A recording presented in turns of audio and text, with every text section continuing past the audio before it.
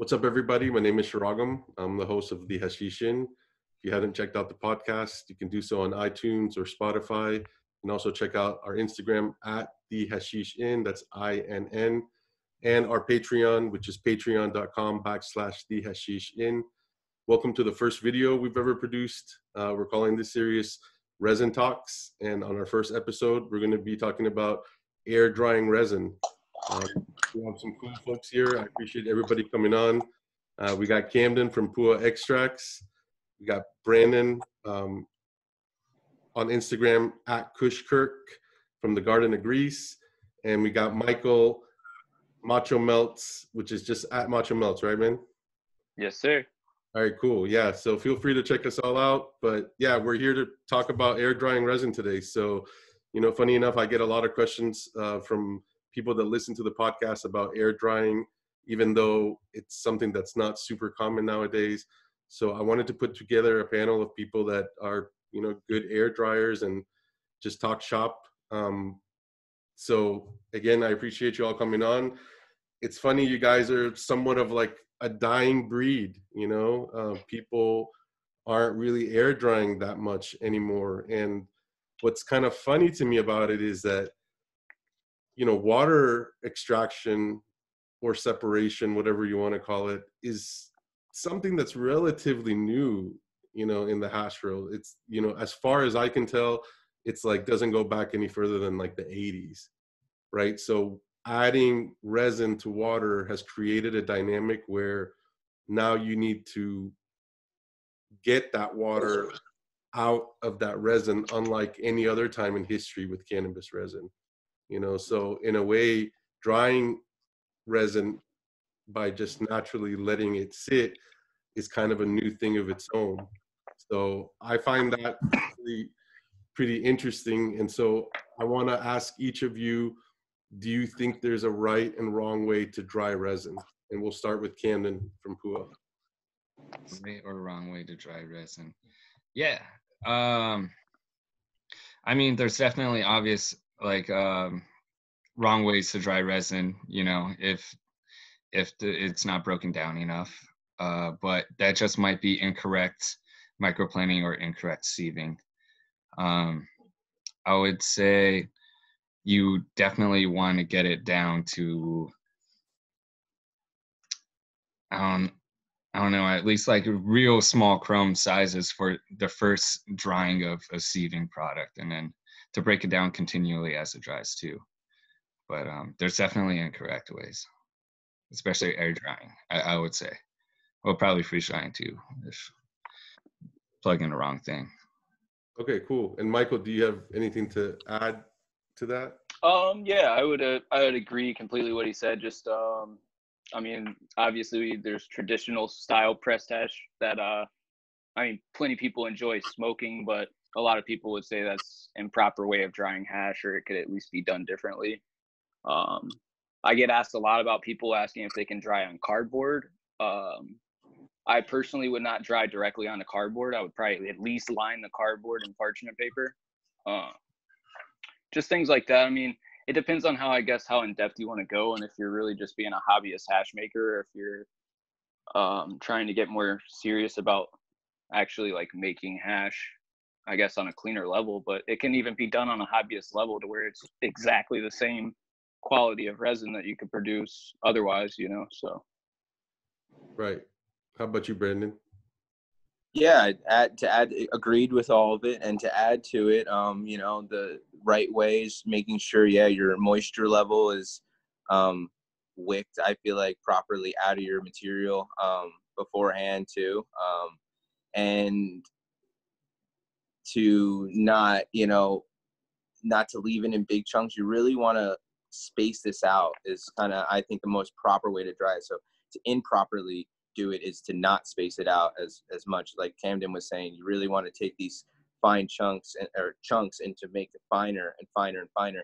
So it does dry more evenly. Um, much surface area as possible. Um, so, yeah. you know, yeah, it's all about surface area. Really, if you take like, you know, anything bigger than a grain of rice, I feel like it has the potential or even actually half the size of a grain of rice has the potential to like hold that moisture too long and be a problem.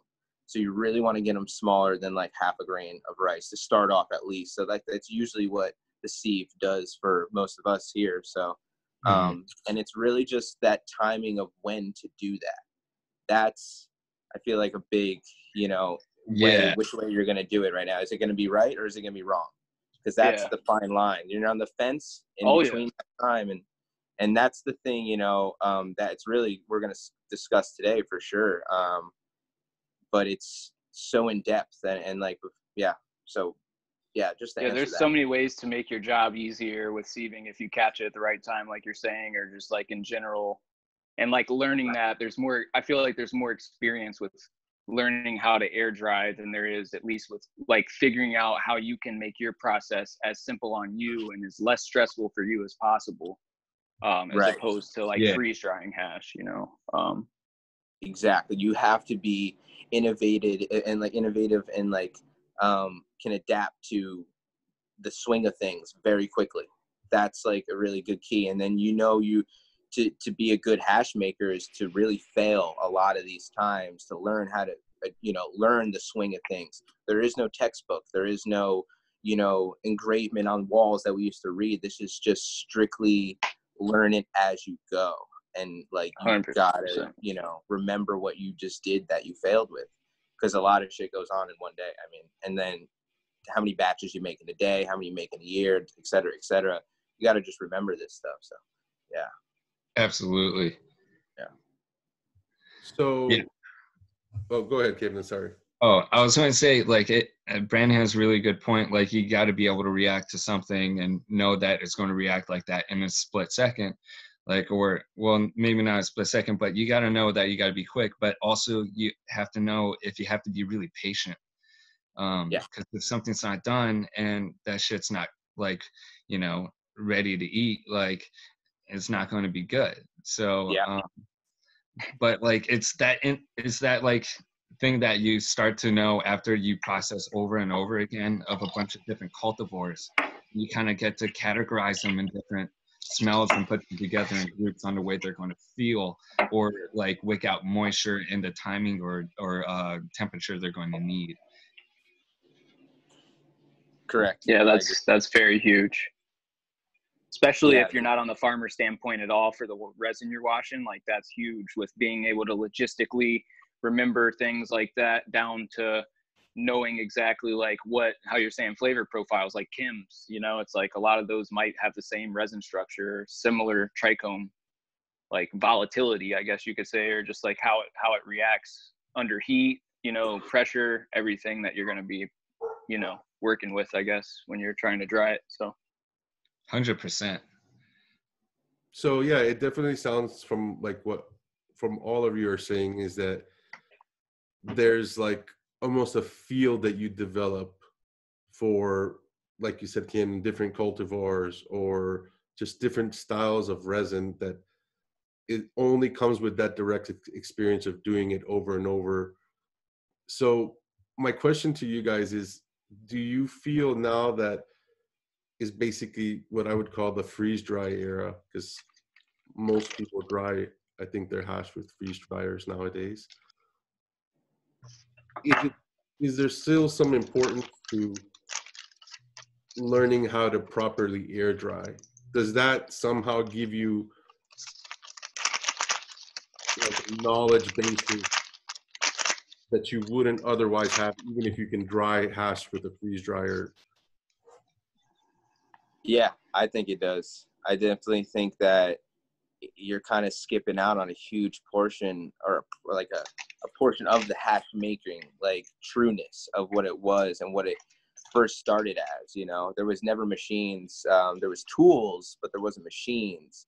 And I feel like um, having these machines detaches us, like just gets us farther away from what history and the and the the respect that I have for that. You know, like I hold it, but you know, I, I want the future to see that and other people and the consumers to know that it's like that too. And um, we got to give thanks for the people before us. Big time. And, you know, yeah, huge. This is Yeah. it goes down to ancestral, you know, respect. So um, you know, I think that's what I look at it as the highest part of hand drying. That's like a gift that keeps on giving. You know, we don't have to rely. What happens with all this world goes to shit, and you know, freeze dryers aren't around anymore and might not be power to run the things. You know, there's things that we can still work then. You know, I I know I could like so. Yeah. it it really goes to show you need to know these things. It's like starting a fire. I mean, you do you know how to start a fire by hand out in the woods without a lighter? You know, like no, but maybe it'll really help, right? So it's like that's that's Oh, yeah. the value of that, you know, in Yeah. my eyes. So like that's my opinion. But I just Yeah. don't think you'll ever have as pretty of hash as you would have air dried as well. Um, oh yeah, I'm true. I'm really biased towards flavor and things like that, and I I can only say that based off of experience with other freeze dried hash that I've experienced to be able to say that. So it's it's a different thing, but honestly, like like especially you, and I, I and other people I could think of that were just like sieving hash. It looked like straight caviar, and it was just the most beautiful thing. And I feel like you can still have amazing freeze dried hash that has a a whole lifetime of watching it go from way more, you know, a consistency of having separated trichome heads to just completely greasing over. And it's just, it's a fun process to watch either way, you know, but um, I've just always, something about the look of air dried hash has just always been something to me, you know. Uh, that's probably one of the biggest thing, one of the biggest reasons I still do it, I'd say. Yeah, I, I agree. I've always really just loved the like look of that caviar like uh bubble hash, you know. It's always just been something that's just absolutely fascinating. Little globes of like weed, you know, looking at that in pictures, it's just like that's fucking awesome looking, you know. Like it just looks delicious. Yeah, and I mean, in, in a way, you know, if you're not microplaning and you're sieving, in a way, you're keeping the resin, I guess, truer to its natural form in a way, right? Hundred percent. I would agree. I've seen people say that on like um, and put up apparently uh, macros of freeze dried hash and saying that it ruptures trichome heads even just being under vacuum and pressure and even just the cryogenic temperature, like you know the whole environment it's in. But I don't have much experience on that, so I can't weigh in on like how true that is. But I would agree, at least with sieving as opposed to microplaning. I remember th- like back when before uh, before freeze dryers were a thing, there was a bunch of memes that Fred Morris, if anybody knows who he is, uh, Oh yeah, yeah. and a few other people that were like microplaning. They would make funny memes about uh, sieves and like mu- like smushing heads through the sieve and stuff. And I thought it was always funny because I felt like more heads would stay intact through the sieve, especially the the finer or like how fine of a sieve you're using, especially multiple times. I felt like more stayed intact than if you're straight slicing it through a zester. But like, I mean, everything is it's it's what you want to achieve, and everybody has. For me, it was just like I always told people if they wanted to start washing ash and just like growing uh, cannabis or anything you want to grow, it's like your experience is going to be different than anyone else, and for you to find what works for you is like very important for you to be able to do it and actually like do it less stressful you know or like find what is your lane to channel and work with you know? Everybody's going to be slightly different with where they kind of go to achieve that, that and that's like, i think that's super important too because everyone thinks to come to us for answers but like our answers are not going to be the right like answers some of the times for you guys and yeah oh yeah. that's huge you Yeah. know like yeah so listen to that one everyone i just want you know that's known definitely true. Yeah. it's it's like when you go to the grocery store and you try to tell them a problem and that happens you know it's like they can't help you so, they can only help you so much if you go to the grocery store and try to tell them what's going on in your garden they don't know the full environment of like of everything going on in your your spot Totally. you're trying to grow cannabis at you know so Absolutely. Yeah, and so you know, you brought up the the look as being one of the things that keeps you air drying, uh, Michael, and but you also mentioned the flavor, you know, and so I'm curious, Brandon. I know you air dry, but you also use freeze dryer, and so Mhm. what's your opinion on on the flavor profile between one and the other? Is there a difference? It's- yeah. Oh yeah, definitely. I mean, you know, I'm pulling down the same plants and literally splitting. I actually will split the spoonful when I'm pulling it out the bag, I'll take, you know, a spoonful and I'll put it over here and I'll take a spoonful and I'll put it over there. And just to know, you know, it's the same shit. And by far the the smoke exhale off of the hand dried is like it's just the smoothest smoke that I've ever smoked. It's it's it's what I you know, it's why I do it. And like I can't really say that the freeze dryer is the same way. I always thought that the freeze dryer lingers and leaves like a percent of moisture still kind of in the hash. I don't know why. And I've had old freeze dryers and I just got new ones with the vacuum or the oilless. So I will say it's been a lot better since then. And I feel a lot more confident that it is that drier, 100% dry, not 99. Um, I've had one of the first freeze dryers, and no one I knew around here in Southern Oregon had for me one for me to look at. So I uh, ended up purchasing like the very first stock one. So I don't think that one was really that good. Um, but then, yeah, these new ones are great, and I s- still can tell the difference though. Like it just being maybe more of like it just sits out you know i dry it out in the garage that i process in and then after i do that i jar it up and i usually let it you know hang out. I'll smoke it in the in the house or put it in the freezer um but the the freeze dryer kind of goes right into the freezer after it's like jarred up and i feel like maybe i even should start like re i, I do receive my freeze dry but i think i should let it even like sit out for a day in the room to even air dry some more because I just feel like the, the smoothness can't be compared to a hand dry hash. Yeah. That's hands down, I guess, my answer. It's just like a little bit more of a, of like maybe a terp thing on the, like a terp choke or like a very terpy on the freeze dry. But it's Mm-hmm. just like as terpy, but smoother on the hand dry, if that makes sense. And I Yeah. think, you know, it's because of like you were saying before, someone's just like, the, the freeze dryer isn't you know, it's not even meant to do that, you know, meant to dry hash. It's like we just someone found out tech and you know ran with that, and I respect it, but it uh, it's definitely a difference. So yeah, sorry, go on.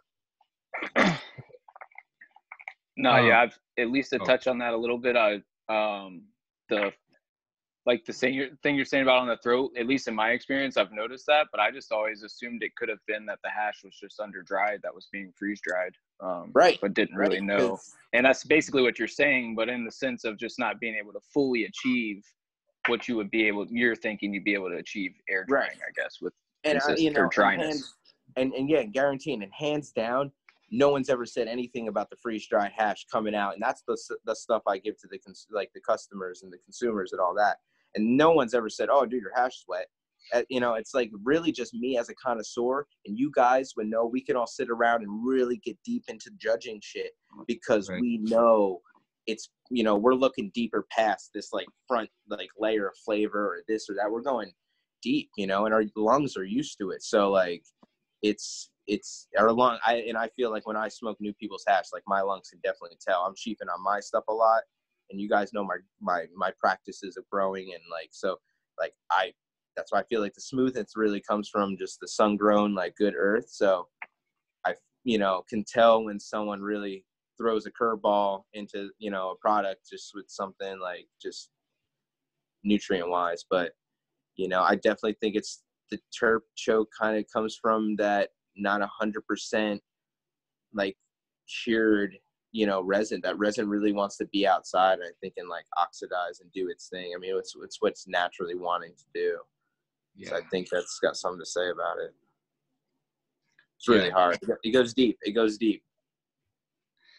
Yeah, definitely. I, I've always wondered. The other thing is the few times that i i freeze dried is something that I know is just when you freeze dry, it's in an enclosed environment, and then when you bring it out of an enclosed environment, um, it, it absorbs the moisture within the air, including um, like drying fruit in, in the freeze dryer. If you leave that frozen like freeze dried strawberry out, it begins to get that moisture and a little bit of stuff in it. Yeah. yeah But- totally yeah I think I think what you're saying about like having the freeze dried hash out in the like regular environment that you are in um, and letting it like come to that uh, is the batches of freeze drying that I liked from myself. Um, but I, I, just haven't had enough experience to, to fully know. Yeah, totally. And I mean, like yeah. we say, like every strain is really different. You got to take that that same strain and do it ten different ways, and you might find the way that one likes, but then the next strain will be different, and et cetera, et cetera. Um, and it's really, you know, it comes down to what I'm sure we all can agree on, like some of the stickier heads, sandier heads, oilier heads. I mean, yeah. all of these react so different. So, um, yeah, I mean, there's no directions on like when to get a sandy head, what to do, you know. So maybe we could right. start making that as like a book. We should all write it together. That would be pretty freaking tight. And That'd sell a book sick. together, you know, and people could you know, so I mean, yeah, dude, for real. This is dude, drop a bomb yeah. right here, you know. Yeah, dude, that'd be that'd be cool. That'd be cool if it could be like Canon Bible style almost or some shit. Yeah, yeah, you know, I mean, there's the Jorge Cervantes book is the book that I first read on the growing, and then in the end of it, it's hash making, and it's like it's just stokes you up and gets you to do the whole thing, and doing, you know, doing that was just like it, it it's good. It's really good details on telling you what to do. You know, it's just not up to date maybe, but right. Still start with that and you'll start you'll be surprised on how much you could still like learn just from that. And you know yeah maybe we just need to make an updated version really. I yeah. think that'd be really cool of all of us like as writers in it. Yeah dude oh, i'm all for logistics on that. We'll get yeah we'll get someone to write it because we all are busy. I was reading uh, uh the the little kind of small excerpt part on water hash um, in Robert Connell Clarke's Hashish, and it's so like intriguing, man. Like there's a part where they're talking about drying resin that's been through water, and they're like putting it in like some kind of cloth that sits over a towel, which that's not too unfamiliar from like what you guys are still doing. But then they're like taking that cloth and then wringing it out, compressing all this resin, and then like uncompressing it, then applying heat to it, and like finger rubbing it to get the moisture. Like, you know, and this is like the authority and like hash almost this book. But like you said, Brandon, it's outdated, you know. Um mm. air drying has become a, a different and I you know, yeah, I don't know if people really know if they were smoking like two percent moisture or you know a couple percent of moisture in their hash back in the day probably wasn't a damn problem. You know, it was it's totally different. But nowadays, it mold, right? Right. Well, I mean, they might have not had little jars to put it in. You know, like this is a different era we're totally in, and we're having jars with mason jar lids on. You know, and it's like this this is sealed tight where air cannot get in and out. I mean.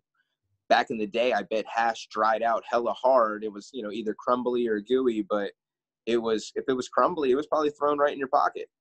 You know, shit. Yeah. Just to say, you know. I used to know like a couple of people here in Portland when I first moved here that like you know they would make bubble hash, wring it out, flatten it out, and they would put in little fucking envelopes and then like drive over it back and forth and shit. and like be like this is the best. And honestly, when I was trying that, that was the shit. Like it was so good, you know, and yeah. that's why like smoking a hash joint with you, Brandon, is like the best. It's that like old school hash flavor with with herb and stuff. It's so fucking good. Oh um, yeah.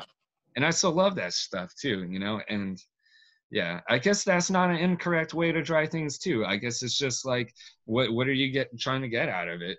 Did you do right. it I mean, or not?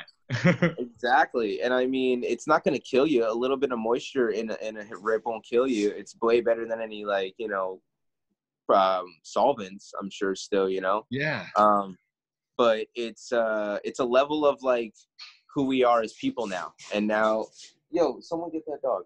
Um, there's a level of of who we are as people now with like our you know standard of quality you know and no one will settle for some half-ass type of shit so Um, Yeah. I don't blame it, you know. And there's so now that's what it is. We have proven that we can get it to a certain level of you know caliber of quality, you know, that is True. achieved. It's not impossible. You know, now it's just how possible is it to make it on a level that the whole world is now smoking. You know, um, that's going to be hard because, like we said, what we started with is it's this like it's it's a deep passion that I think makes us be that hand dry type of hash maker. You know, that we started it like that and we'll still do it today, you know, and like when the freeze dryer is an option, like I do both and it's it's just you you know, I can't can't knock that. Like and and, and for something like myself, I, I gotta keep it like just super true. You know. So I was going a little off right there. No, that's totally chill. Um, I actually, I actually had a question. If if you notice in certain strains to where like, um, on the nose of it of the hash is better on freeze drying or the same as sieving. I ha- I mean, after how many I've done, I'm gonna say they're pretty similar. Um, Okay, the cool. one, the the one thing is maybe the hand dried loses its terps a little bit quicker from the few that I've done, just because. Honestly, maybe it was just.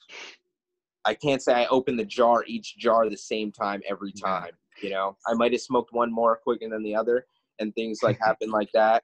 Um, so that's the hard hardest, like really. Um, but Huh. To say that the terps were almost like you know they still were amazing once you reheated it, but Mhm. um, yeah, I think that was the only thing. Like it's too similar. They really are both similar. Um, yeah, the only thing different I would have to add on to that, and it's a little off topic, but is uh, hand rubbed hash. That was Oh, by sick. far the loudest, almost that I've ever smelled. Like Charas? Charas? Yeah, Yeah. Oh, from yeah. golden that- strawberries. I did that, and that was like like that. from like just a fresh hash point of view and hand dried um like it reacted it looked like hand dried hash it had a little bit of oxidized it was you know the same type of trans like transparent and gooey and all that but it it was louder for like a longer time Damn. and that's what i was like yo what are we doing like we need to we need to be pressing this quick. we we need to just be rubbing, you know, as as maybe the hash maker and like the cream of the crop, like take a portion and like rub your hands and collect a ball and man, Truly hand dried big hash right there. That's yeah, That's that's hand hand dried. baby. That's, That's it's just hand hash. That's that's the quickest way you could be Wait, getting so are- irie off the harvest. Are you talking? Are you talking about fresh? Plants is the quickest way. Fresh plants. Yeah, yeah, Yeah. like straight up like how they used to do it in you know Right. in the in the east, and and and they were just rubbing live plants, and they weren't you know they were seeded plants that probably had a very um little bit of resin compared to our hash plants over here. Right. So man, I was I was DMing. This is a little off topic, but I was DMing one of those dudes over there um, in Pakistan or something, and asking him like, "What's the, what do you usually get on your hands at the end of the day after working a full day in the field?" And he said seven to ten grams, and that's a full day's work. That's like eight shit. eight hours plus, you know and so what I did here is I timed myself and I did my I did my little bee buds, my little C buds, like on the bottom of the plant. I did it for two hours and I got two grams. It was amazing. So like the amount I could probably easily get 14 grams to 20 grams maybe in a day's worth of work here. It's and it's quite amazing. So I think just right off the top, I mean, we need to start trying that out as as uh, hash makers. I know it's hard when we don't have a square footage. Like you know, you got to have square footage for that type of shit. yeah, for sure. definitely. But that that sounds like a real true experience right there, though. Yeah. Sorry, I just you wanted to add cannot that on put because money on that, that it was kind. kind you of know? on my mind with the topic of the question being like if there's a difference, which I you know I know there is, Right. and that is almost the biggest difference though. When I've ever smoked all my like flavors in each way, that one way that I did that one was by far like the loudest. What do you think about effect though, especially with the with the trichomes oxidizing like that, as opposed to not? super you know? Oh, like way more in the body. You know, way more CBGs, CBNs, um, CBDs. So like, I'm Oh, pushing the plants, you know, to full maturity, and then we're like harvesting the A's and B buds, right? And then I'll let the little C buds go for an extra week or ten days, maybe two weeks. Fuck it, and those things become big, and the soup, the resin, you know, really gets amber on those because those had shadow. Um, the canopy shadowed them, and now that they're fully exposed, it's like time to swell and little sunburn almost. It's like a good thing. It's like really amber. It's really nice. Ripe fruit. Yeah, super fr- super sweet and Fuck yeah. super, you know, heavy, heavy on the high. Damn. That would be great for people with anxiety, is that shit, huh? Yeah, dude, right now for sure. Yeah, dude. That's why I always felt like old bubble hash was always so sleepy, you know. Like I used to make edibles from it heavily, and I always just later in life, I'm like, I just assumed it was just a lot of the THC degrading into CBN, and um, just having that more like kind of lost, especially like even equilibrium, but just make you feel loopy, like because if you don't go to sleep, you know, it just seems like it puts you to sleep. I have a buddy that's epileptic, and like he has uh he smokes like a bunch of high CBN strains and tells me he's like, yeah, I literally can't smoke these unless I'm done like with my work for the day, you know, because he's like, I'll it'll literally just put me on the couch, put me to sleep. So Yeah, dude. I agree. Wow. So one thing that we really haven't talked about is environments, and it kind of was brought up a little earlier. And each of you, I think, has kind of a unique situation. Brandon, you mentioned earlier you do your drying just because I've been at your place and I've seen your your setup, and you do your drying kind of like in an outside barn, depending, which is obviously dependent on the weather. Camden, Right. a much more like It- controlled environment, and uh, Macho, I'm not sure. So how about we start with you? Uh, it kind of depends the time of the year, really. Um, since I'm in Michigan, it's colder a lot of the times of the year. So um, most of the year, I can get away with just kind of venting a room and running a HEPA filter and a DHU in a room and keeping it below 40 degrees, you know, uh, if it's that time of the year. But yeah, just a bedroom basically is what I'm doing right now with a cool bot. If I need to run a window unit, I'm just basically running a window unit in a room um, just off of a cool bot and then just have a DHU in the room. Basically, just pretty simple insulated room. And you said you're you're trying to keep it down to 50. yeah, I try to stay around. Honestly, like I mean, you could dry hash. I feel like at 60 under and get similar results. Just certain certain strains are going to be definitely harder to work with, and it definitely depends on what depends on what you're trying to do as well. Like if it's going to be harder to probably work with that stuff and, and keep it separated if you're going to squish it or if you're going to keep it for water hash. If you're just going to squish it all into rosin, then it's probably less of a hassle to have to worry about the hash. I would assume. I don't. I mean, um, but yeah, I would say I would say like most hash, I like to dry around mid 40s, and somewhere if you can keep it in that 20 to 25 to 35 percent humidity is pretty key. Yeah. And Camden?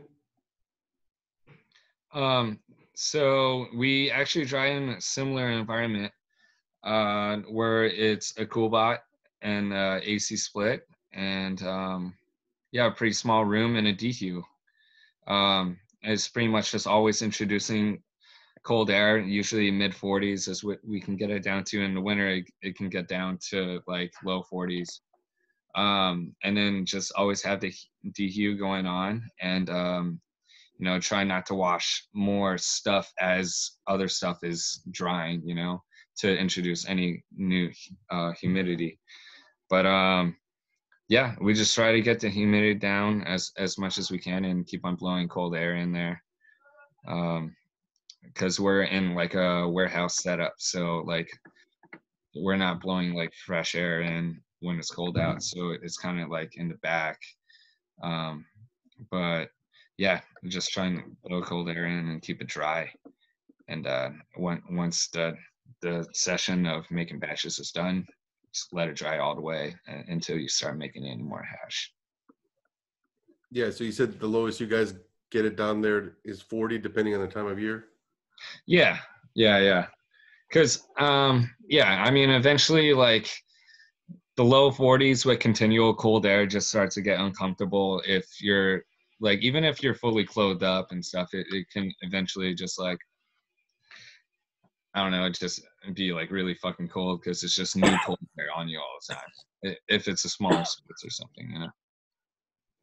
Yeah. and then Brandon, your situation, like I said, is a little dependent on the weather. So how do you deal with that? Or do you just kind of let it ride? Um, sorry, it went it said I had low battery for a second. So, um, what was the question? How I? So how do you deal with the kind of fluctuation in temperature and humidity, like variables in your situation? Okay, so yeah, um, like Pua said, try not to um, bring more moisture into the room. So if like I'm doing the hand dry, like I'll close the room down. I have a garage door on the one side of my um, like 25 by 20 or 30 space, you know, and uh, so I have that open um, during the day, like as I'm washing, because I like walk right out there and I'll clean the bags and all that. So the air outside in the wintertime is roughly pretty dry um, in the winter actually here um, in southern oregon especially in my little valley so i get away with having like the same numbers that they just said like around it could be as cold as 35 maybe sometimes 30 Nice. um, just outside and the and then the dryness. As soon as i'm done with the wash that day and i'm and i shut the garage door i have like a pretty big industrial dehu um, you definitely need a dehu and i have like $1100 dehu just to, for this like one space that's like square footage wise it does a space that's like twice the size. So gets it really dry really quickly. And yeah just kind of like if it's 35 and 35% it's like good and dry and nice and cold that's what i've been achieving like the temperatures at here um, in that time of the season uh, and it's you know ideal. It makes the dry it dries the hash uh, within like three to five days but then i'll let it sit for five to about seven six seven and then you know i'll card it once i'll like just like flip it around just to check it and stuff in between time and uh yeah those you know that cold cold condition and dry it really helps i mean and that's what even yeah that's i think the key is 30 like you know if you can get it cold it's really hard to achieve that coldness you know without mother nature uh just kind of doing it so but i've seen some ice on the edge of the work bag as i'm washing which is pretty crazy Damn. yeah That's cool, man. That is so sick. the ring of the rim of the can like frozen it's pretty wild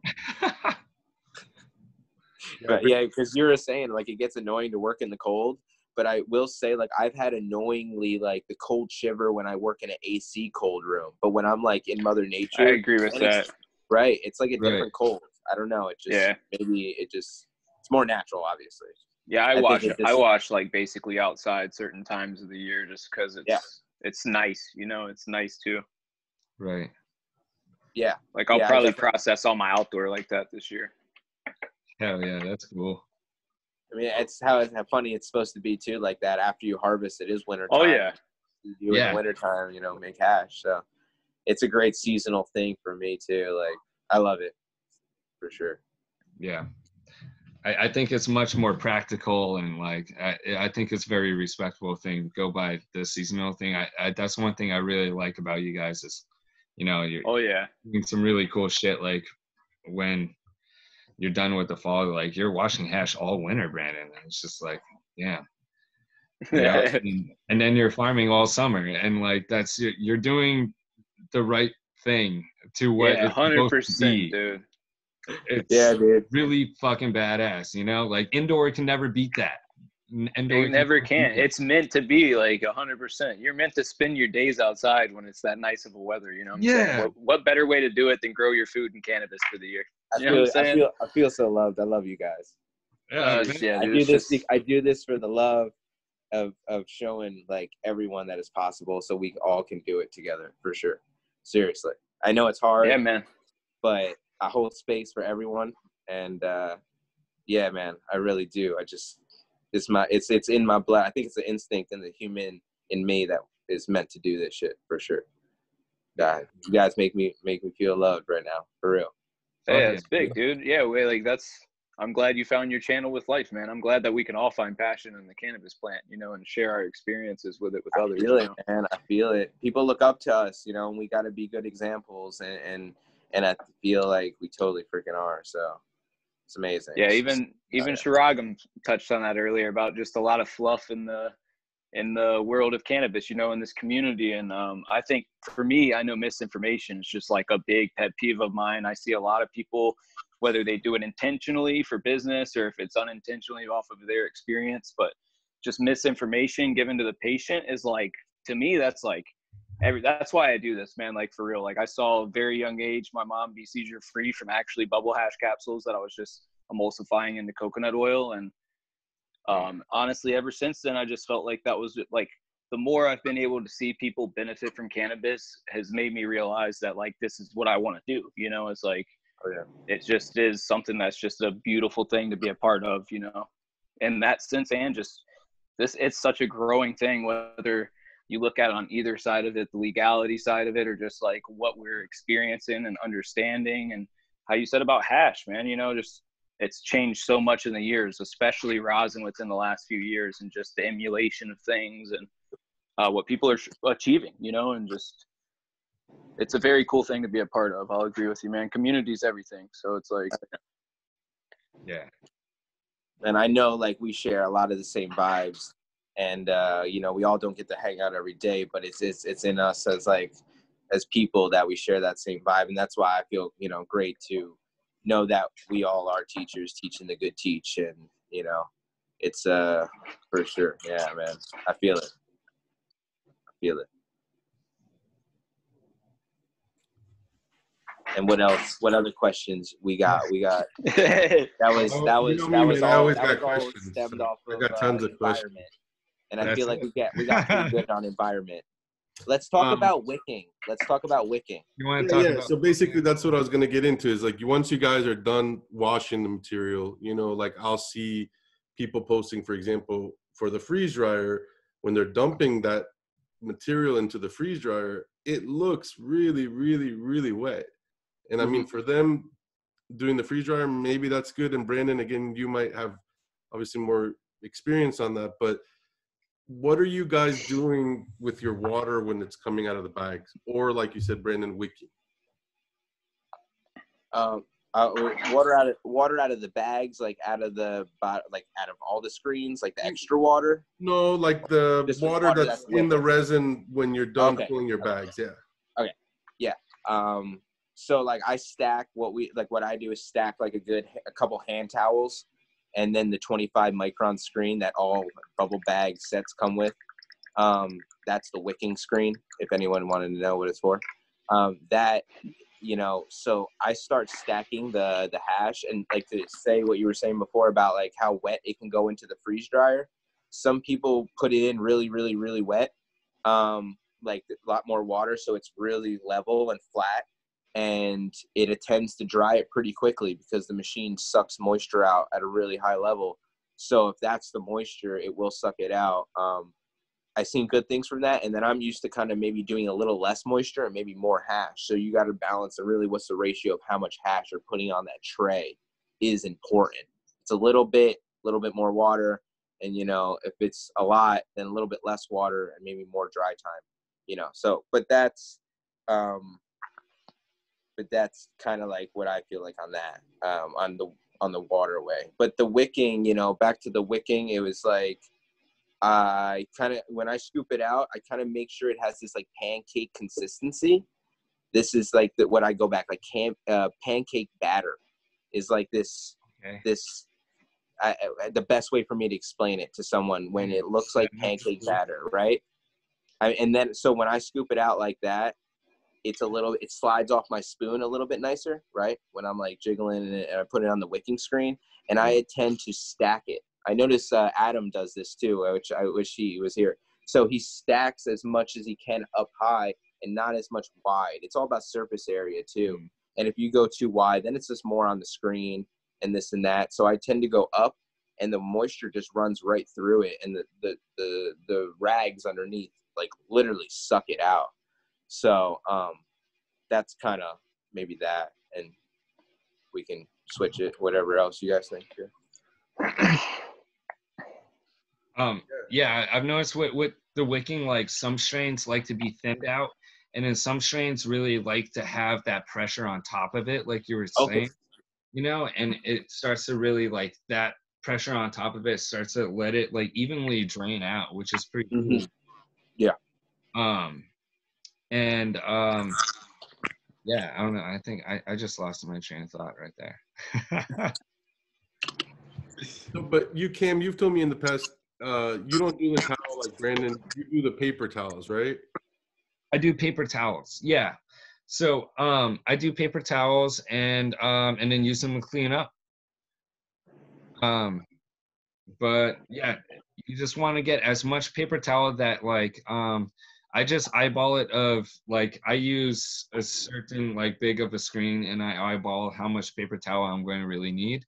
And especially some strains that they if they release moisture really quick and you need to have them extremely cold almost like as if you're like trying to shock vegetables after you blanch them you need to get them right away into like a cold environment and with a bunch of paper towel underneath it because they're going to release it right away and that's the key moment you need especially for the first two washes um to wick out properly so you can see that and it breaks apart for yourself you know? Um but yeah you need to know like the time is more than the amount of paper towel like eventually you eyeball how much paper towel you need and a lot of times it's even a little bit more than you needed but more than anything you need to know those strains that you absolutely need a lot of paper towel for and you need to get it into cold right away Yeah. uh, it out properly so you can handle it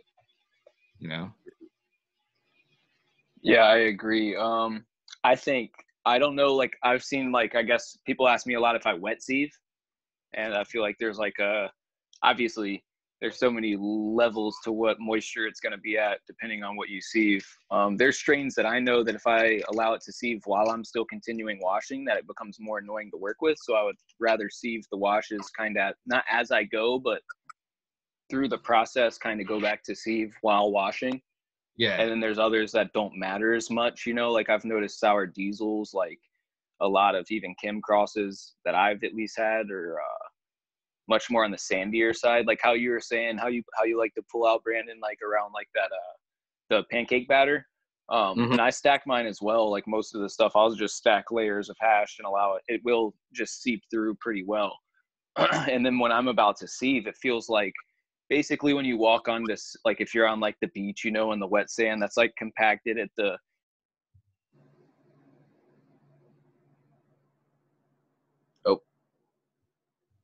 Did we lose him?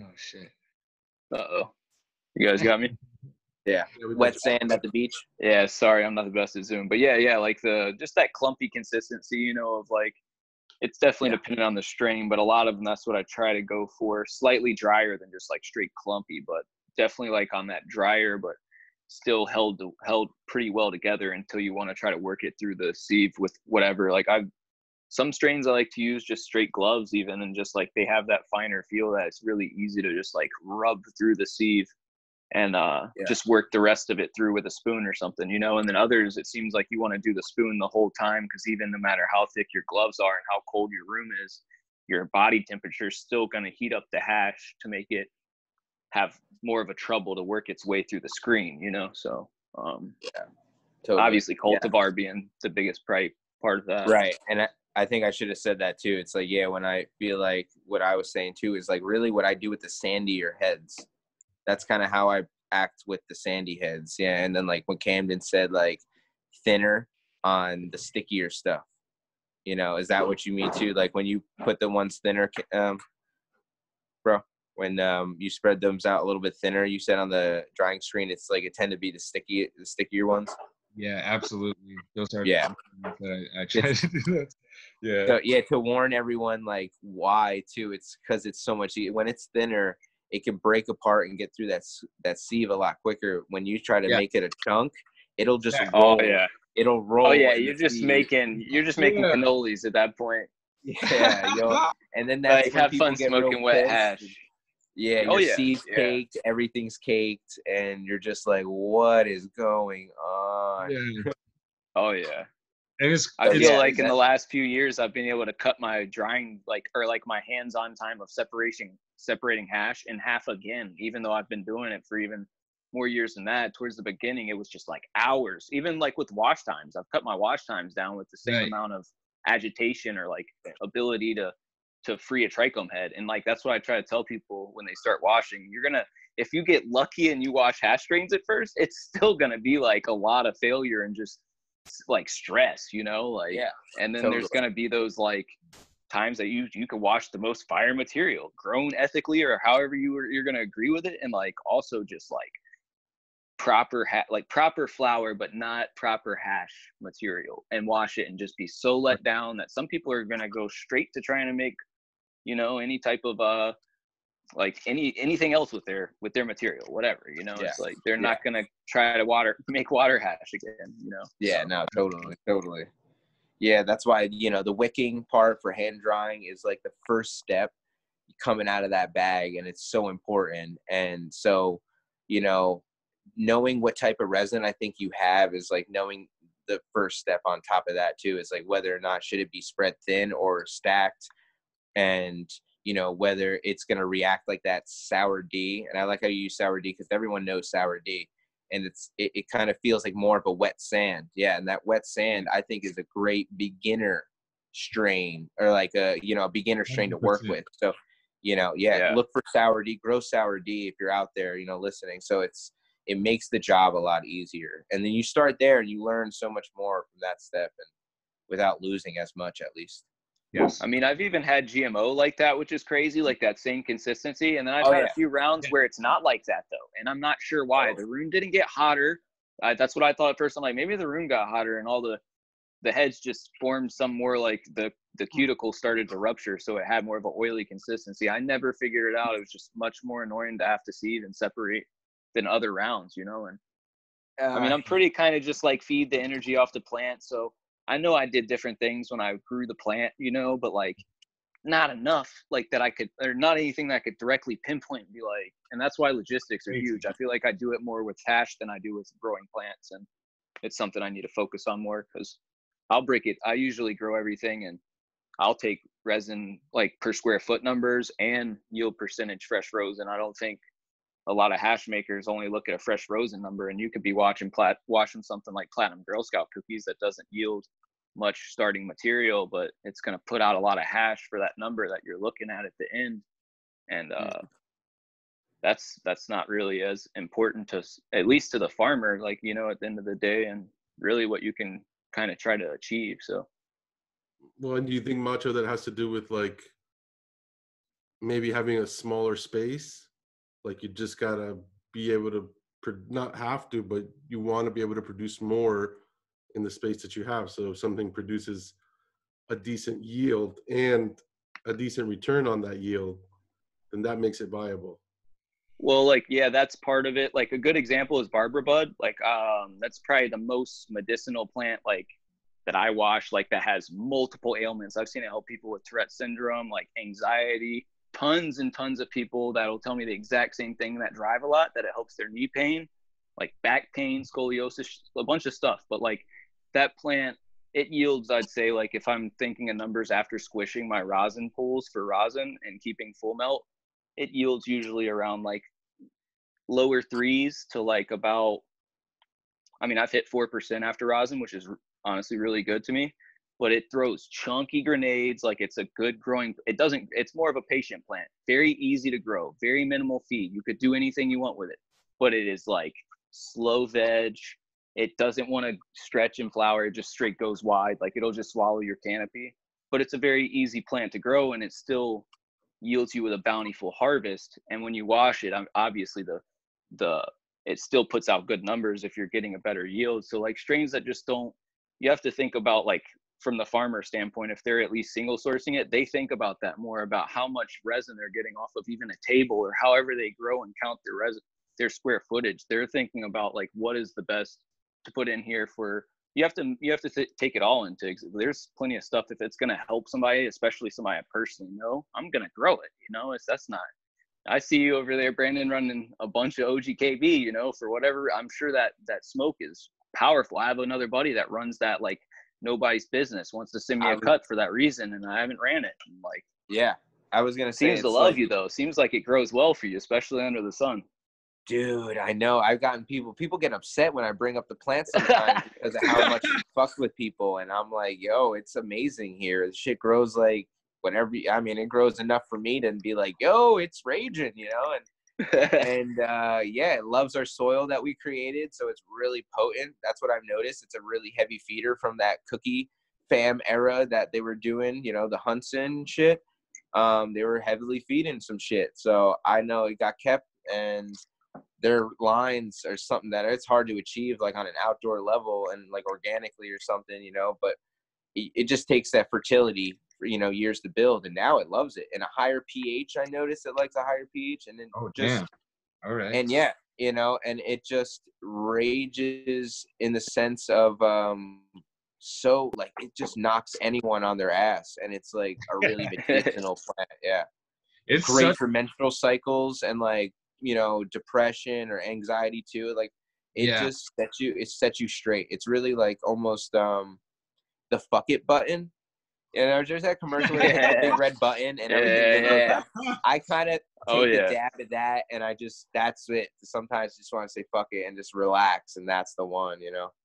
So i got to keep it I remember, Chris like- Kirk is, yeah, Kushkirk that's got something from that one you know? Like, i love that shit Yeah, I have a buddy that smokes uh, a lot of platinum Girl Scout cookies, and he broke his back, and he's like same way about that strain, and it, it really is just like that same type of like, exactly what you said, you know, just on that Mhm. scale of it. I've that's why I always enjoyed that one more than Forum. I like the flavor, the smell of Forum Girl Scout more, I guess, out of all the Girl Scout stuff like that. But yeah platinum, that's pretty that, sweeter like, i like that, that hitter, you know. It is, and and no one really grows it anymore. So to me, it's a rarity. And obviously, it veggies come really slow, you know, from no matter what. And um, so the yields are really you have to run it, and it's really hard to clone. It's why it's been never really ran like this. But the last season, we had great success cloning it. So um, just you know, utilizing what we we what we get, you know, and yeah, I'm just stoked to start bringing it to the market, and everyone's gonna be like, "Brah." Yeah, I tried. I know that one. I'm gonna get a thousand DMs. like 2017, I think was that run that you did of that OGKB. yeah that last one and like harvested on my like right after my birthday it was amazing man and it was just like But it was strong, Yeah. like you said. it's medicinal man. Yeah, it's a power plant yeah. and it's drought resistant so another reason why i love it uh, we live in a freaking desert practically and that thing doesn't require much attention doesn't need trellis at all because it's so hardy it's Yeah. like a it's like a cactus it's like strong as shit so yeah, it, it doesn't drink at all. It, it's Yeah. it's pretty fucking cool. Yeah, Yeah, it's really cool yeah, but that one's a really greasy one. So if you want to think about that one on a hand dry level, that's the one that to me I have to be quick on my toes because it'll yeah. want to just stuck. It wants to stick to everything. And then if that actually that brings me into another thing, which will be great for us to talk about right now. Um, Yeah.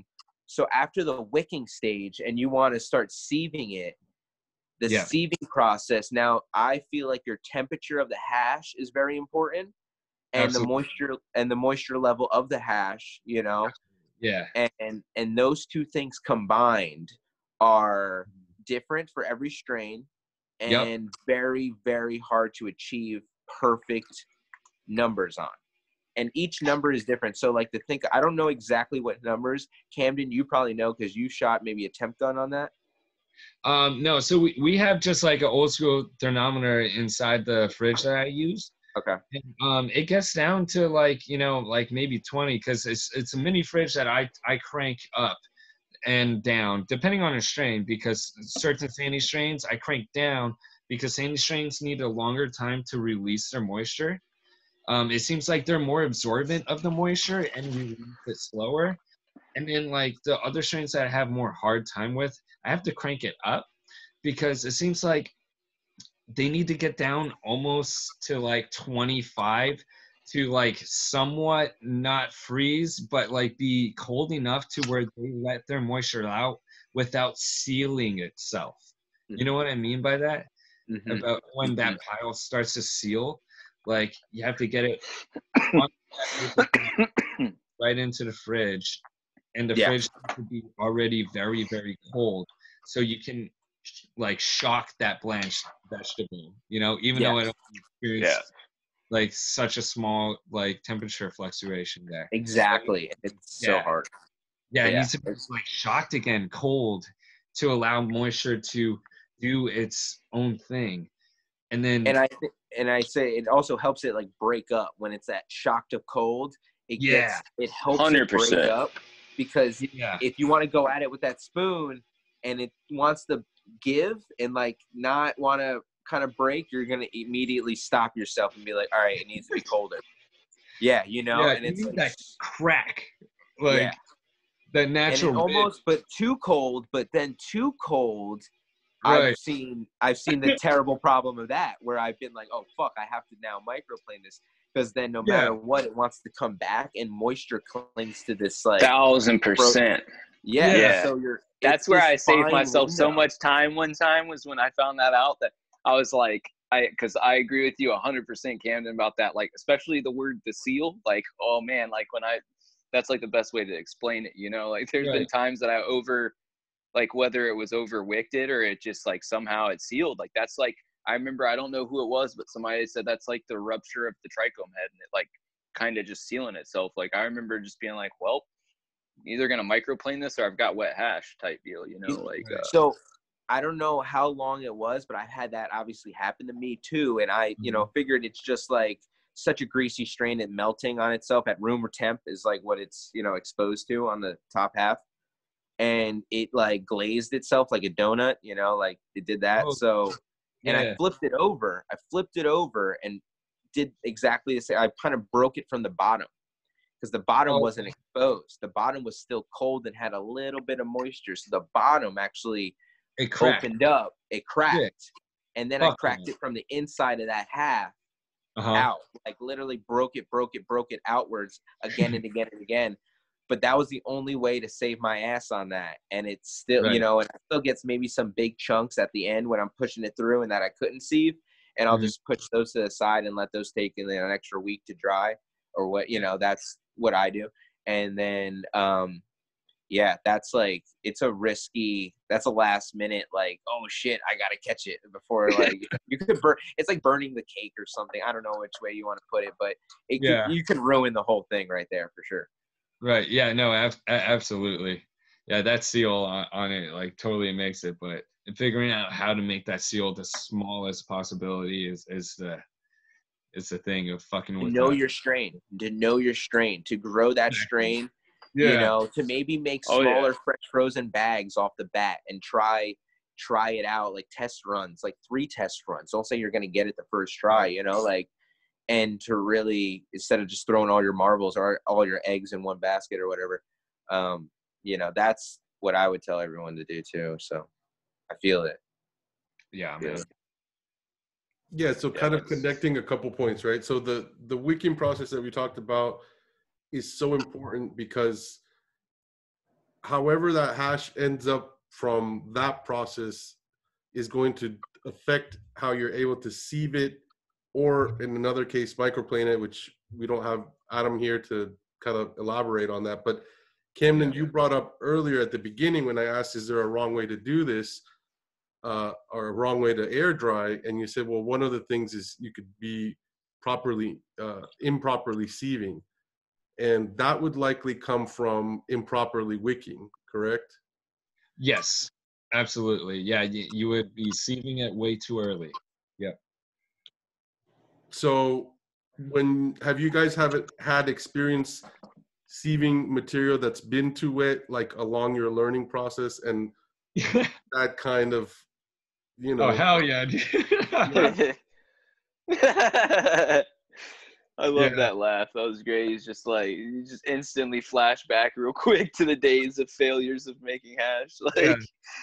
oh I- I man, think- even even back in the day when I used to make really super improper sieved hash, um, this like even before I got an Instagram is like it the shit would look like you know old school hash but like in dots, You know what I mean by that? Where it would have that like old school, like almost oxidized around it, but just all in the it's like Dippin' Dots old school hash, almost looking. And um, and that's I mean I love that stuff at, at that moment, you know, because that's what I knew. It was awesome. But um, yeah, it, it like for a very long time I, I thought that it was okay to like have a pretty moist ass like amount of resin on a parchment paper, like in a like closet and drying, you know, but um, as time went on and found out about about like how like even a real small piece like with that like little sheen of moisture inside of it not good. But i don't know this is not like really off topic but does anybody remember this guy that used to dry hash by separating it with a toothpick? Like he would literally sit there and take his wick hash and separate it with a toothpick. It was like something an ICMag that he said he got it from or something. Really wild though but like Whoa. he used to post macro shots like back on uh like forever ago and um it was just like inspiring to me. I'm like man that's like that's like full on love like love for the labor of it all you know what i'm saying like just like man. yeah just fully embodied it you know I can see that. and I was I thought about though I'm like, man, like if you're if you catch it at that right time, like we're talking about, and you're just Yeah. breaking it down, brittling it hmm. off with like a little almost like a chisel real carefully, you probably would have like the most separated hash that's as close to like sift, you know, like or something where you have more trichome heads fully For holding sure. shape. I remember, yeah, I remember old dudes like just chopping it with a ID card, like Right. the- like that was yeah, like oh yeah, a, pr- big a rough, rough, rough thing of like the time, and it was probably smashing it down at that one point too. You know, when you're kind of like pushing it and sealing some, and you know, smashing some, which would get tighter. That's yeah, Yeah. I would actually see with the toothpick, as long as you got the time, shit, like that might yeah, you could be poking. You know, it all separate, and then take your, you know, bigger chunks and let smaller them down, and then it looked like a sieved. It looked like it probably was sieved. I, I could, I could see that. yeah, his stuff looks sieved. His stuff looks fully Yeah. sieved. It's crazy. definitely true. Yeah, I mean the sieve is just another tool to speed up the process. Really, you know. Yeah, I Um, think before they yeah. were just like you said, Brandon, they were chopping. I mean, even in the Bubble Man videos that I used to watch a long time ago, like yeah chopped it up with you know just some kind of like credit card almost type thing, and he was putting it on cardboard, right? And then Yep. everybody else started using parchment over time, and you know that's one of the things that I wonder is, do you guys believe? I mean, I think I know the answer based on our conversation, but do you guys believe that resin can be hundred percent dry. I mean, you know, to the extent it can be by doing it through this process. The Yeah. process. Of uh, I think it hundred percent. I yeah I don't know I that. Uh, I want to say it's Medicine Farms, Medisun Farms. Do people know him? I'm not sure. I think he's like somewhere Washington or something. But he he used to test all his stuff for moisture levels, for like his moisture level. So um, I don't know. I've seen moisture levels yeah. lower for for hash than flour, from air dried hash and freeze dried hash. Yeah, you know, and but when I talked to Flynn from Wook Sauce, he's uh, I think basically does freeze dryer all the time now, but he still talked about how he felt like you needed to have a little bit of moisture in your resin. Like it's not supposed to be bone dry. What would you guys say to that? Yeah, I Um, mean, yeah. I'd, I'd say yeah. I don't know. Go ahead for sure. I don't. I can't really touch on it much, anyways. But Yeah, I, I've definitely had a room where where like I dehued pretty hard and left it for like a day over to where like I was pretty familiar to the strain and its resin and the way it's dried. And it was actually a really easy strain to dry and was like yeah, very easy going like batch every single time with this strain. And um but this one time this dehu like I was running it like a way too big of dehu and I wasn't as careful as usual because I wasn't used to it. And I would say that this batch got dried out way too much. And it didn't have the same like juicy appeal uh, in, in the smoke, I'm saying, um, as well as the look. But more than anything in the smoke, it didn't have that like really full coat feel to it. And it seemed a little bit more like a hollow circle of like a of a smoke texture. You know what I mean? Yeah. Totally. I agree with that. Um, was- Yeah, that Yeah, definitely. I feel like well, and then how much percentage of like some terpenes play a moisture level into that because they're oils. It's like a mo- you know, like they're always off gassing. And I know my straw guava is like it just is gas. Like I mean, they're just so loud. You know, it's always off gassing and it's always quick to butter and always all that. And it's like that right there. I feel like yeah, if I over dried that and had that like loss of flavor, it's sucking the oils and the terps out. So it's like, how much terps should we leave in to know like how moist the hash is still too? Because yeah, like I want some gooey, flavorful hash, hmm but you know, like when there's the point where the moisture's out and now we're taking out terps, like where's that line? You know, and it's really hard to say. But yeah, I think you know we all agree yeah, that we want some we want that body and i feel like Yeah. the body comes you know from the moisture like gives some flavor that yeah coats our palate that's like the Right. best way to put it and yeah you say it's like smoking like like and it's missing like it's like uh you're just getting more air like flavor and like a little bit of like you know um Yeah. kind of Um, sort of thing Yeah. Yeah. No, definitely. And so, you know, you guys have brought up obviously things here and there. Uh, Macho, I know you were talking about the bar bud, which I think that's from the Great Gardener, isn't it? Like originally, you run Yep. that, and you run a few other things. So let's talk about a little bit about genetics. I know if we Brandon could keep us here all day with as many genetics as they run over there. But Fuck yeah, dude. yeah, yeah. oh yeah. Um, yo, can I take a bathroom break real quick? go for it, bro. Let me uh let me let me pause this. All right, we're cool. We're back from a bathroom slash smoke break.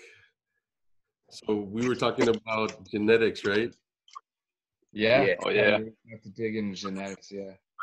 Uh, what kind of genetics are you guys running, or you know, maybe things that are like memorable to you, since you've talked a lot about how getting to know a particular resin helps you work with it better.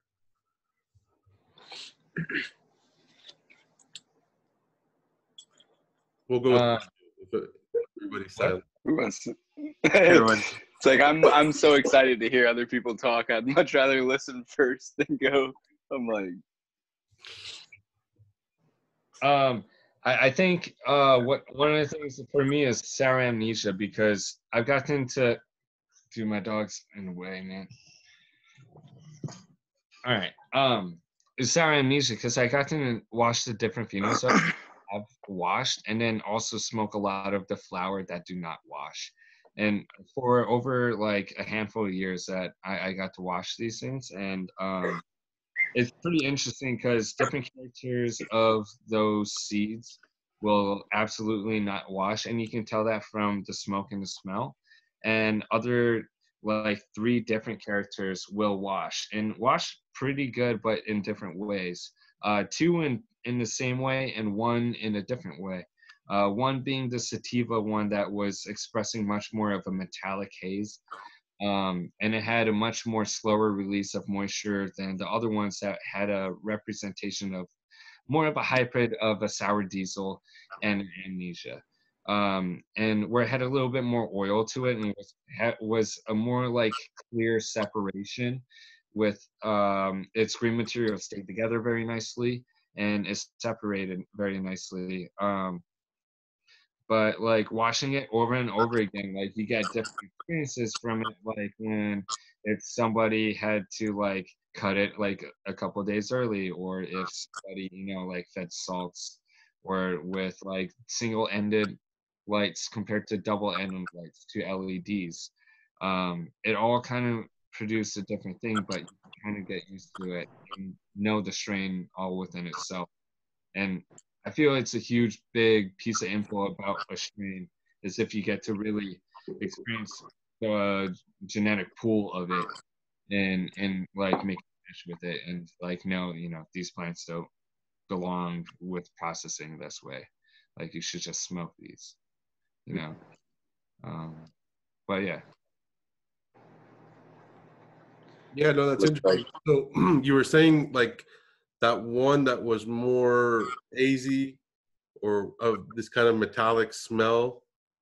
Yes. You said that one washed differently. But you didn't really go into how that one washed differently. What was it that stood out about that one? Um, so that one had a much longer wicking time. Um, and it had a much larger 70 micron yield compared to the 120 where the uh, other two phenos, and Nisha I'm familiar with, um, have a larger 120 yield or more like almost equal to the 70. Um, but the haze one is a little bit smaller um, and it holds on to moisture quite a bit. Um, and maybe that's due to the micron size of the majority of the heads that are full melt that I'm concentrating on. That doesn't allow the moisture to settle down as quick as larger heads where the water can flow through a, a larger grain, that is. Yeah, that's interesting. Um, and Michael, since we were just talking about it kind of off air, I guess you could say, the Death Coast, can you talk a little bit about working with that plant uh, as a hash plant and and the drying process? Um, it's uh, I think we were kind of speaking on those styles of plants earlier. You guys can hear me good, right? Because my phone died, so I had to like connect up. Am I good? Yeah, Yeah. you're all good. All right, cool. Um, yeah, um, kind of like that drier. Uh, also Camden touched on it. That just like it's definitely one of those quicker plants to dry. I've honestly never been able to dry a plant as quick and over dry a plant. Um, like kind of how that is. Uh, it's one of those styles of structures of plants. It's a fun one to work with. I just like the flavor of stuff like that. I'm really into like gassy, chemmy, uh, sour sour diesel. Oh man, I like grew up smoking like every it was like nice to be able to get good East Coast sour diesel. It was just like that. Smell like honestly like diesel gas sometimes, some tennis ball terps, like just like Yeah. just really enjoyable for me. And the effect of all those have been very enjoyable. So um like I'm kinda I'm not really like I'm into I'm kinda like kinda like it's real weird. Like citrus strains, you know how they'll kind of get you going and stuff. They're definitely more like cerebral and in the head and stuff like that. A lot of those uh, will tend to give me anxiety because I'm already kind of, I guess, just going like that. I don't really smoke hash for that, and I feel like sour diesel was like one of those ones that was something more of that headband effect, like how hand, headband will do that to you, like give you that pressure on your on your temples and stuff, and just like definitely be more set in like that. That's kind of what I've enjoyed about it. Um, but also it's just a even like gmo it's just another one like that that just growing under lamps uh I, there's a lot of people that talk about the 90 bag and stuff like that and like a lot of strains definitely i feel like cultivar to cultivar you're going to see 90 micron be consistently good um but there's strains that i pull way better 120 than i do and fatter pools of 120 than i do of 90 for sure. And the hash like the best hash i've ever smoked is probably 160 micron. Um Yeah. the death coast has pulled for me this last round even under lamps the last couple rounds. Same with gmo one round i pulled 219 to 160 that was just like so melty as hash. The effect from it was just insane like um and so like i don't know it's just like i'm into s- like those and it they tend to be juicier and uh just have more of that like how we were talking about juiciness i feel like they hold that a little more when they're those larger heads um Mhm.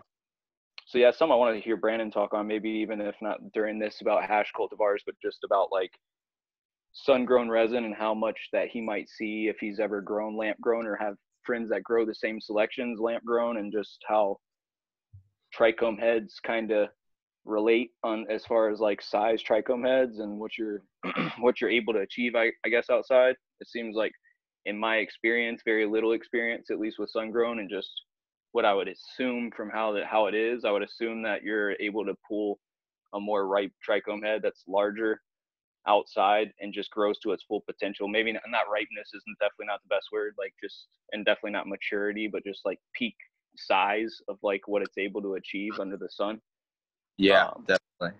I think Like yeah, that. I, yeah, yeah, definitely. Um, I feel like that's, you know, it's not just sun grown too. You know, it is right. It is, but I have a tremendous amount of sun on the property here, um, which is, you know, if you've been here before, you know it. It's um, there's almost 14 hours of direct sunlight in the summer. Um, there's no trees. You know, I've seen really far into the valley of the sunset and stuff. So, um, I think that's also another indicator. Like this plant can handle full sun when it's grown properly, and shadow, like shade grown cannabis, is definitely different. Um, you know, stuff I've grown the same strain yet over in the bush, um, than or you know in the full sun, and the resin's completely different. Um, and but yeah, for sure, I haven't grown too many indoors. I only done like a couple runs ever from beginning to end indoor. Um, three of them, and I'd say two of them were only good. And uh but hashed two of them for sure and it was really good i don't think i did the same strain um just the one strain i did strawberry guava. And the hash was really good um both you know both times it's really the size micron is where it differs and i feel like it's because of the light being stationary and holding its place above the plant and not moving. I mean, I don't have lights that do that slow thing. I don't really think many people do. Um, and I think, you know, that's where we get a certain area. And then, yeah, it's usually 90 micron. that is the peak. Um, that is the money bag. But usually the bigger heads are bigger and sweeter and, yeah, more ripe and more flavorful, just like how a bigger fruit would be on the tree um, that got more sun. Um, so I think that's where I, you know, as fruit trees here on my farm and seeing things develop side by side with cannabis, like, yeah, the bigger, tastier fruits are more exposed to the sun. So it, same thing, you know, I think that's side by side comparison. Yeah, the sun is an influence on making things bigger and more what their fullest potential could be and more flavorful as their full potential Yeah. could be. Um, Agreed. yeah, you know, totally. And that's my you know bad to get a because like, little sidetracked, yeah. I'm on all the stuff about strains. No, no, no. But yeah, and and you know every strain's different, of course, but like I think it's just like I said, it goes back to the sun and the sunrise and sunset is so drastic here that it literally hits the side of the plant, you know, at the end of the day and the beginning of the day. That's how it doesn't come up like I I, I get sun from end to end. So I think that's when I'm out there taking nug shots in the morning. I, you probably remember seeing them. Like some of this shit glows because the sun hits it directly sideways. It's it's it's a, Yeah. it's it's crazy. It's remarkable that you know the the, the full full 360 on it or 180. Excuse me. Hell yeah. Yeah. And just like I guess how much the different sun too is in the morning sun, it's you know hitting the plant when it's coming off a cold night. Um, huge like terps are different smelling at that hour, and then there's the Really? midday, um, and then there's the evening. And the midday is definitely the worst because of the heat of the day. Um, and the evening comes in and, and tends to be really nice because the coolness uh, that drops down into the valley here. Um, so I think that also plays a huge part into when you're harvesting your plant and stuff too. And I, you're really indoors, it's kind of lights on or lights off. But here, there's uh, you know, oh, yeah. even planting it with the moon. And you were saying too, Mike, you want to talk about on how you know some stuff is grown and the love that's put into it. There's a huge cosmic connection that we believe here that this plant and humans share. And when things align just right in the cosmos and with with with everything in the stars that we believe, it it enhances the medicine tenfold. And we achieve, you know, we try to achieve that the best we can, you know, across the board. We're, you know, two of us, mostly me and Amanda, do it all, and we get very tired, of course. But we we believe into nightly harvesting and uh, underneath the moonlight and doing these types of things that I think in, in, enhance the resin too, because they Farmer's Almanac goes into it deep too, and when to harvest certain fruits and vegetables um, and the timing and, and with all that too. So it, it's it's just deep, you know, when you start looking at it in this realm of, you know, plants and the planet and stuff. But yeah, that's the love. I mean, the love that goes into it is really tremendous, and I feel like that speaks something of the hash too that we all need to, you know, embrace. Oh yeah. Too. But we can go back Yeah, to yeah. genetics. I don't think I said which genetics. I was gonna say OGKB was mine for sure. Just to answer that one too. No, no, you're good. And I mean, yeah, Michael, you, you did bring up earlier, you, you wanted to bring up that kind of point. And since we're on it, I mean, um, I'm not sure what you wanted to say, but feel free. Oh, uh, what point exactly? I can't remember. I'm sorry. Were you No, talking about something? in regards to like uh, the love that has to go into. Oh yeah, yeah, yeah, yeah. I got you. Sorry. Yeah, you're talking about we were talking about that on break or something. I forgot about that.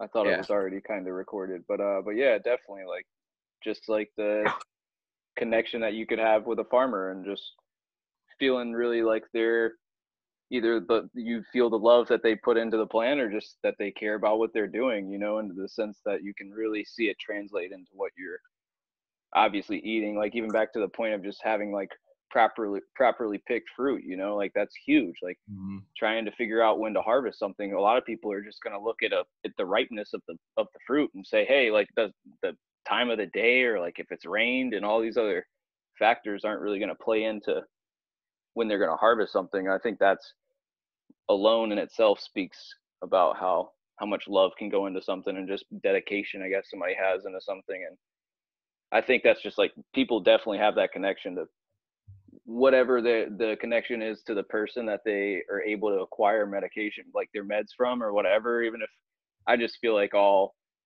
like hash use or any cannabis use in general is to me medicinal whether it's just for your well-being or like for an actual true ailment you know? So um but yeah the connection that you have with your food is very similar if you if you're able to go to the farmers market and find somebody that has quality food.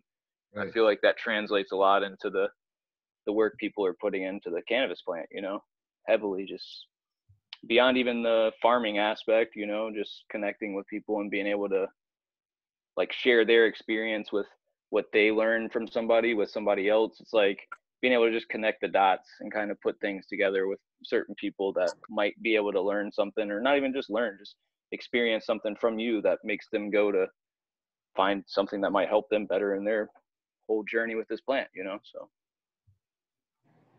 Yeah, no, it's true, man. I think uh, love is definitely something that's real important and education, uh, kind of like you were saying in a way, you know. Um, but yeah, so sorry we got kind of sidetracked, but it was good. I, I thought, you know, I thought it was a good good point to bring up. So I appreciate you bringing that up, and and you, Brandon and Michael, kind of elaborating on that.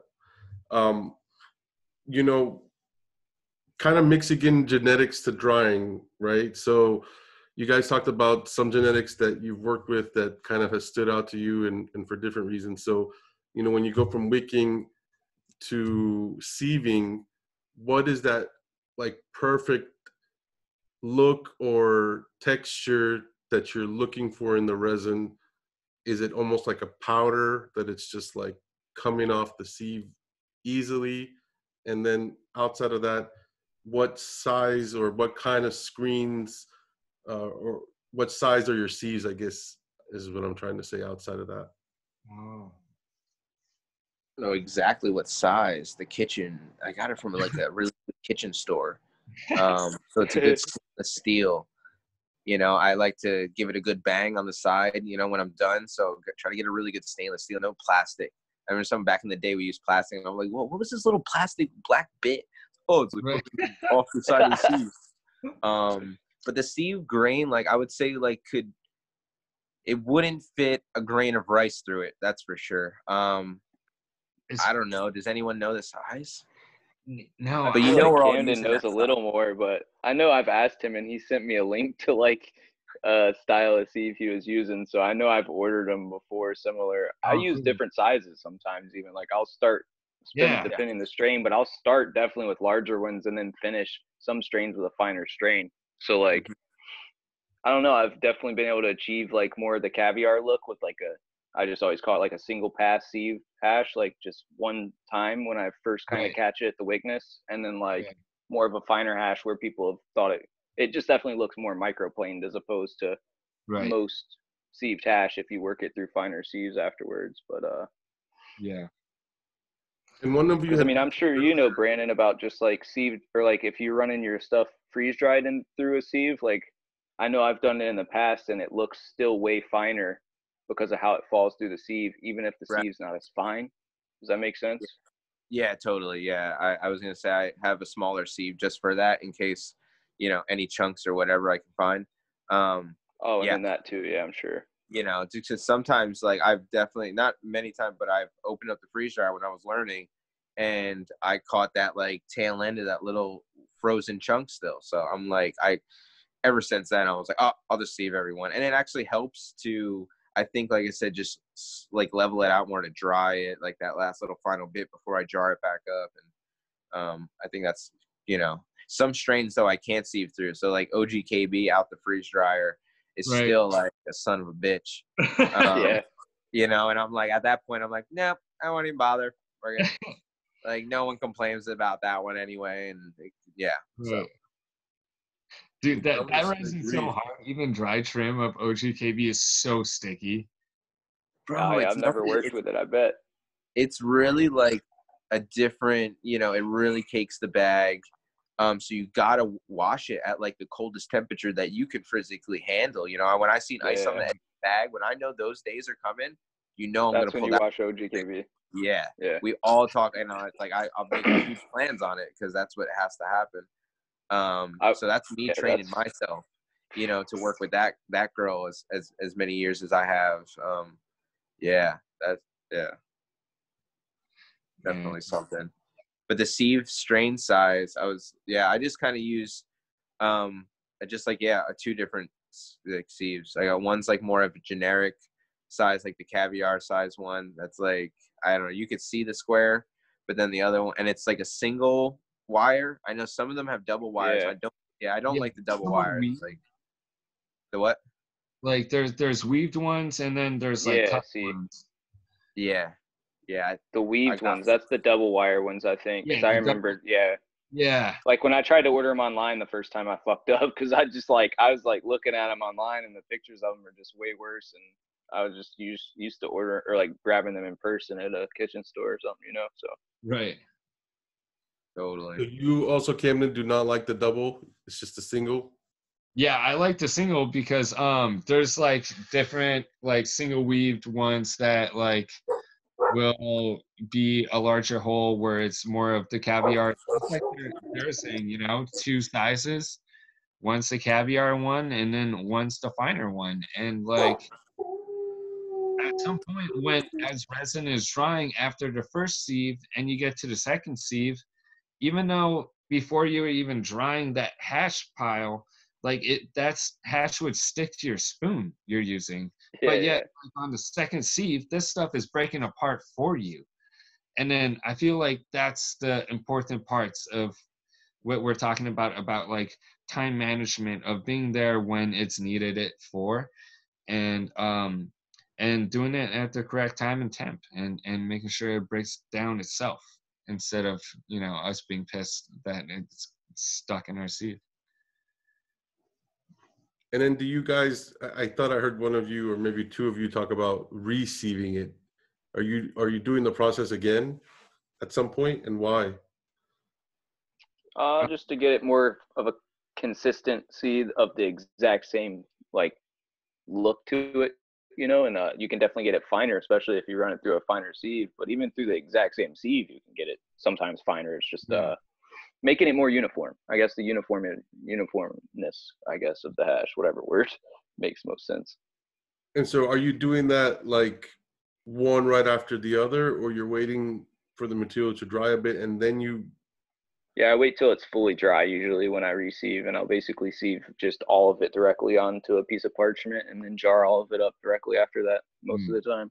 It's how I have done it if I re-sieve. But um I'm sure you could do it. There's probably people that definitely do it during the dry process for other reasons or just to get it at that point quicker or whatever.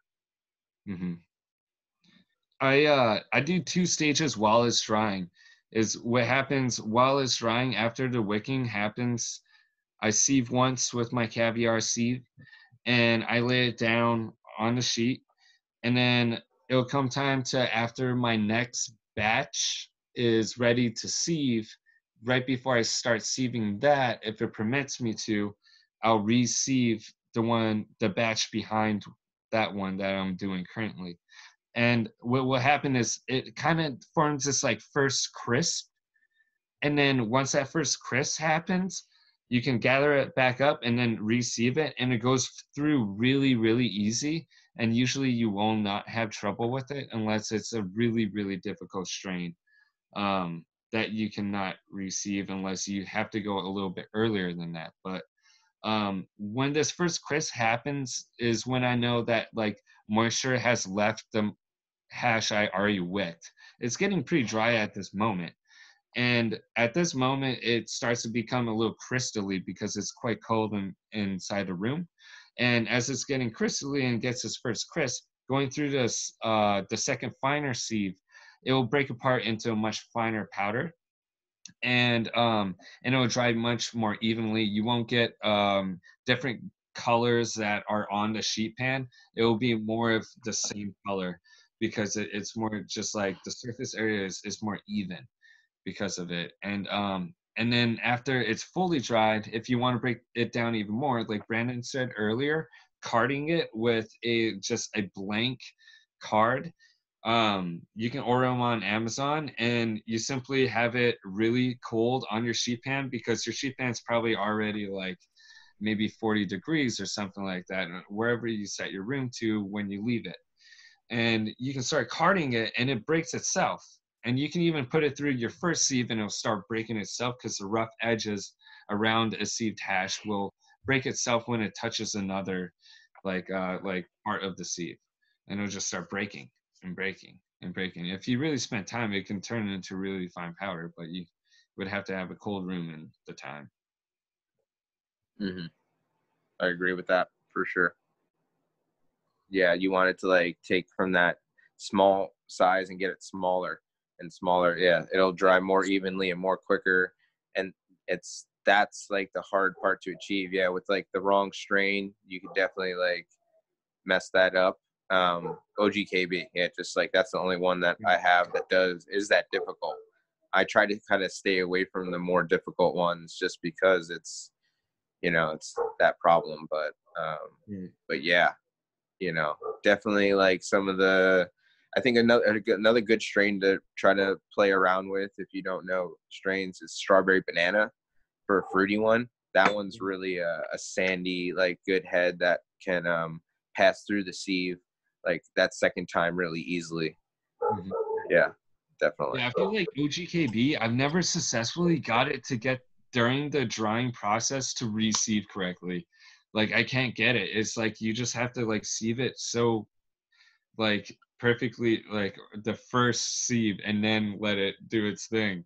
It's and it's the most it's like the strain that just wants to react like the sappiest rosin in my Oh like, man, it's the yeah. worst. It's the worst, but it tastes so good and it feels so good. That's the one that I'll go through the ringer for. You yeah. got to sometimes, man. Dude, it's yeah, so good and it's worth it every way like you know if you don't feel like it's like i don't know i feel like when you don't think it's dry enough it's almost because that strain just wants to react so like soupy like it just once you bring it out of the freezer like it's just instantly greasing within the hour so right yeah it's just you know what can you do with that one? You know you got to just love her who she is for sure. Yeah that's um, long milk parmesan shit right there like it's, it's, it's good.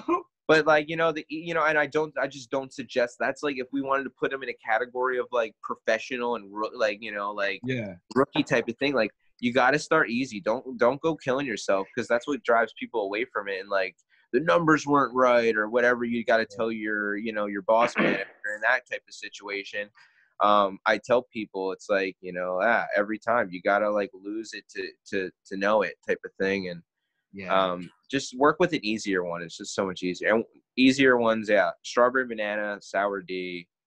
I don't know. Do you what other ones that are easy in your guys' I mean- eyes? You said Death Star or um, I'd say Death Star is exactly the same as Death Coast, like, and yeah, and Death Coast. Death Coast. So like, Death Star is just Sensi Star to Sour Diesel. So Death Coast is just Sensi Star to Sour Diesel back across to East Coast Sour again. So it's just Sour D BX one is what it is. And then the more sour you bring into it, yeah, the more you'll find. I'm sure, like, yeah, they're- just at least selection wise, you're just gonna because he he made Death Coast Diesel. It's Pips Weed actually on Instagram. Uh, it's a buddy of mine, kind of this way, and uh, he uh, yeah, he he basically released the Death Coast Diesel for his seed stock, and it was just back crossed to sour again. So it's essentially just sour diesel BX2. And I had a buddy that ran through some of them, and they were just spot on sour. You know, like find that all day in it. So Yeah. if it's what you want, like yeah, and yeah, for hash, yeah, definitely a good one Yeah.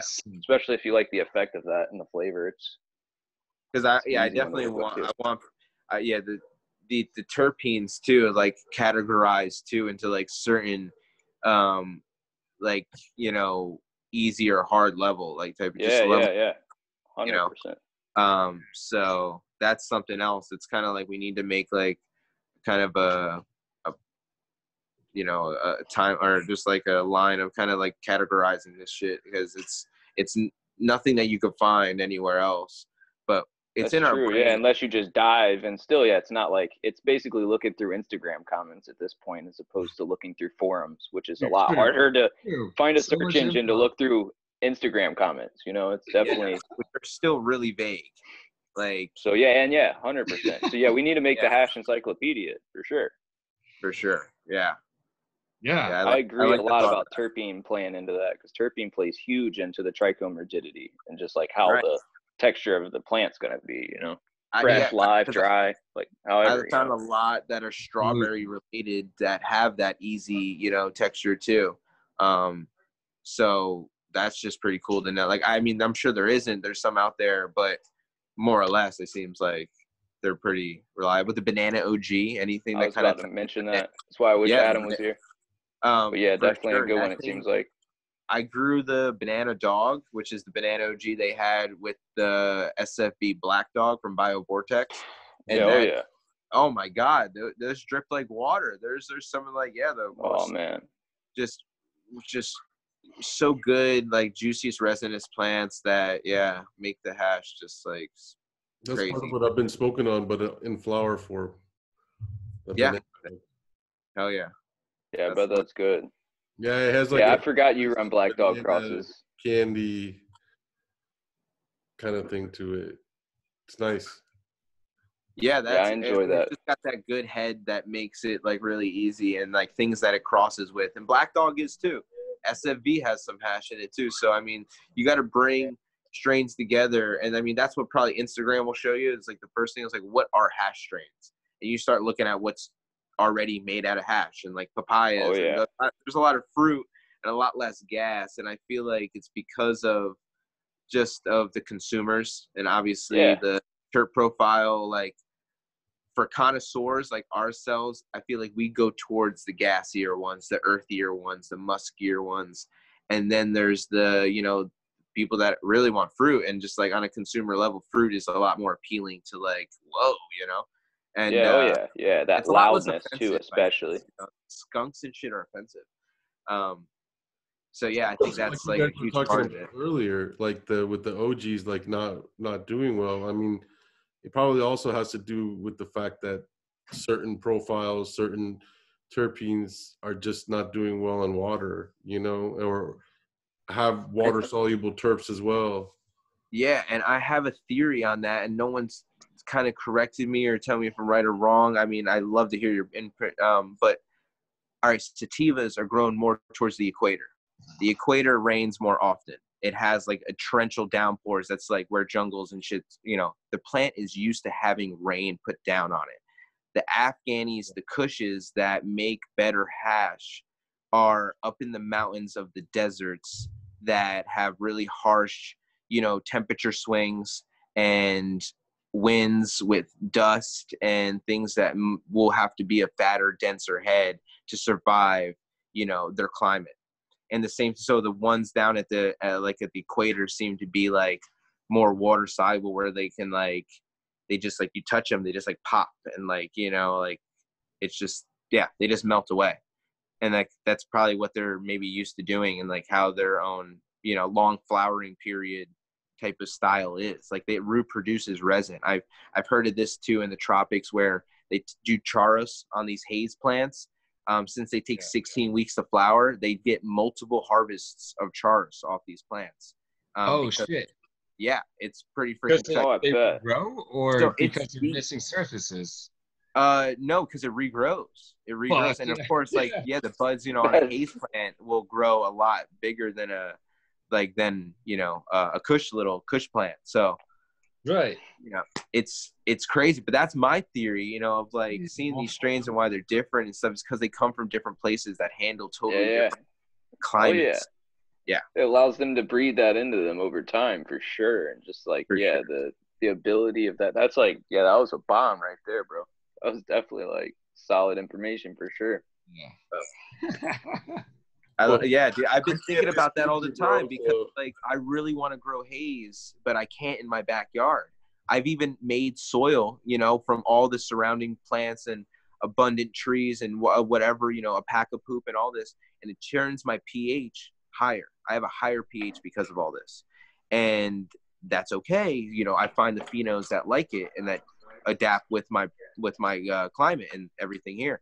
But I'll tell you right now, sativas like a lower pH. They like, you know, more acidic soil, which I'm built more alkaline soil now, and and so I'm almost pushing myself away from that. Um, and I got to figure out like a way to build a bed just for haze or something, and like dep it. I don't know, but yeah, Right.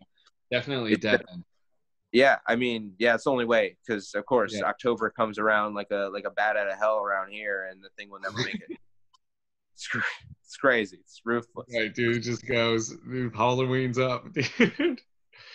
yeah, Dude, I can't even get some things to Halloween anymore because we're so low in the valley that the swing of uh, temperatures, we've actually seen frost. I mean, a lot of Instagram, you know, pictures have been frosty the last couple years around harvest time, Yeah. and I don't know what they're, you know, weather's changing, whatever, whatever, but it's uh it's making a difference here and like the middle of october comes around and it's negative it's oh not negative it's like 20 degrees it's 19 degrees and it kills the plant so the resin at that point too is diminishing because i know the flowers are diminishing. Things are definitely going downhill. And like how to save that is i think almost the flowers were never going to make it to maturity. You got to take it for hash you know? And then you're then you're left with like well it's not maybe fully mature and i really like pushing my plants to full maturity but it really just comes down to the smoke and whether or not it's good enough to be you know enjoyed with friends and family and consumers and everything you know but that's how that's i feel like a part of it too and knowing when to choose that right time and with the genetic in that in the atmosphere Yeah. Yeah. Like uh I, I like how like you guys been selecting for what's like good in, in your region and it makes sense. Like sometimes you can't you know, sometimes you can't grow like, you know, passion fruit and guava in Oregon, you know? So like Right. you know, to grow like yeah i feel it i you know and that's what makes everyone's uh, uh, it- everyone should look at that first not like oh what do you grow and i want to grow it or what a, what is la growing. I just want to grow the fire hype no like really find maybe my, maybe find the seeds of the the hype shit and then find the pheno that works for you. That's going to end up doing you a huge favor and a long-term thing. And plus you're really going to like it because it's going to be your own special little you know pheno that you've gotten attached to. And i think that's what makes you know um, also a really special plant that people enjoy when smoking. They're like whoa you know you're an awesome grower. This is a great run. It's because of that you know that connection that you build into it that you know Yeah. Absolutely. Yeah, and, and that's the thing about like OGs and stuff and, and more gassy stuff that I realize is, you know, it might it might be a lot because of the strain too, but like also mainly because of the selection of these early like clone onlys, you know, is where like the selection was limited and was for what was good for smoking, right? Um typically like, you know, in smaller spaces, like not running, you know, like full plant hashes. So if the original selection of like all that, you know, like uh, if you could look at a lot of them and stuff, I'm sure there's like hashers in theirs, but it's you know just like humans, like you know, like everybody can do anything, you know, and and just like takes a certain mind, you know, and like I feel like seeds of cannabis do the same thing. You just gotta choose what they what they're actually like good at, you know, like Mhm. find that out. And, Yeah, uh, but I, like you said, I think it does take a, a big population. yeah. I think is like what a lot of people just don't. Right? You don't the resources, the time, the space, the effort right. to to do that kind of selection. Uh, Especially like you're saying about OGs and stuff, all those old strains. You know, it's like Yeah. everybody was growing in a in a house or something, trying to hide it all, anyways, and trying to Right. trying to be smart about it, not go to jail trying to do what they're doing in the first place. So Exactly. That's Yeah. what I find exciting about crossing strains is that like their offspring almost are like as good as them, you know, like and Yeah. you might be able to find ones where the flower is just as good as like like a Chem D, but like has a little bit something different, but it's just as exciting and really, really nice and also hashes really, really well. yeah, Uh, that's what's crazy for sure. anything happen and um yeah and now is the time to where like we're really fortunate that you know we're going to be able to look at a lot of different weed strains and know a lot of info because of internet stuff and and Yeah. like you know getting new seeds all the time whenever through banks and like it's pretty cool. And, and like we're going to find a lot of characters that we didn't assume to hash that are going to hash. And it's really Mhm. Yeah, just open the channel for it, like you're saying, you know, crossing it in the offspring alone, and then like you can open up recessive traits that even was already underlying in the one of the parents, you know, and it's just like you yeah. could take something that's not going to wash and completely make that flavor or effect even follow through, but have like a better washing plant than that flavor and effect from the cultivar that you kept for flower because it wouldn't wash, you know. So right Totally. Totally. So, like, what's a keeper plant? Well, what are you trying to get? You know, like, what is a keeper plant depending on what you want? Like, and Oh, I yeah. think, yeah, now selections can be had. Like, now everybody can like search through a lot of seeds now, you know, and and start breeding.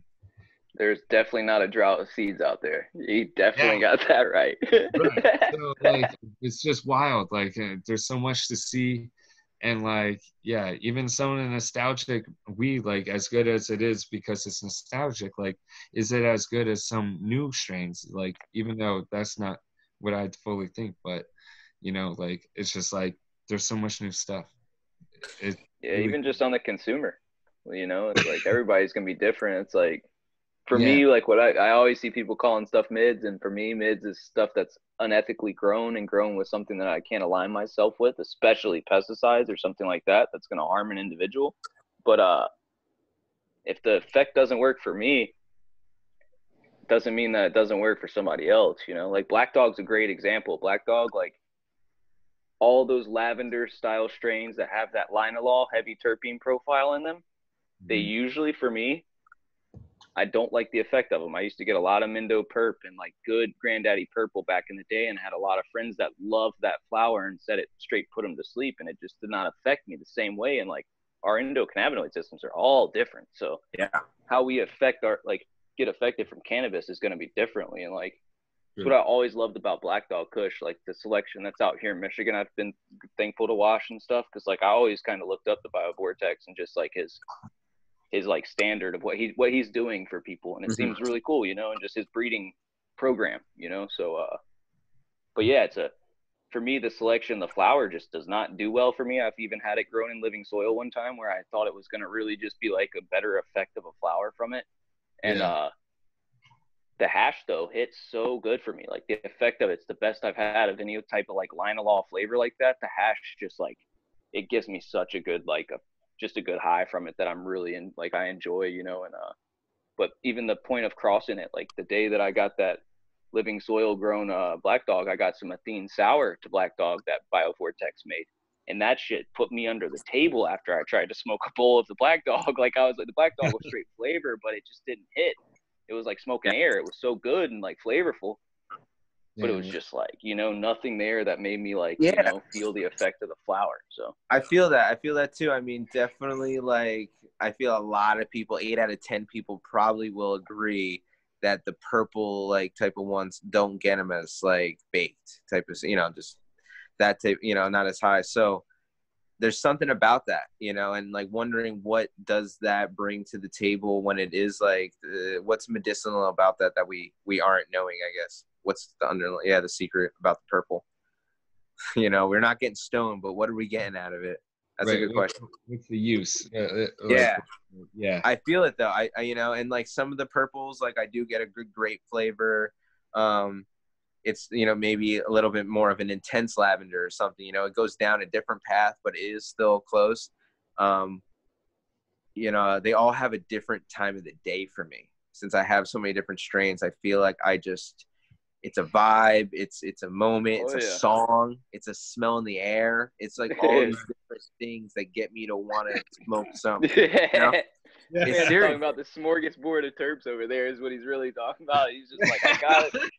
He's like, I don't know what jar to reach for, but you know, he's like, there's one there during the day that I usually reach for It's- about noon. Every day, high noon, I'm smoking this jar.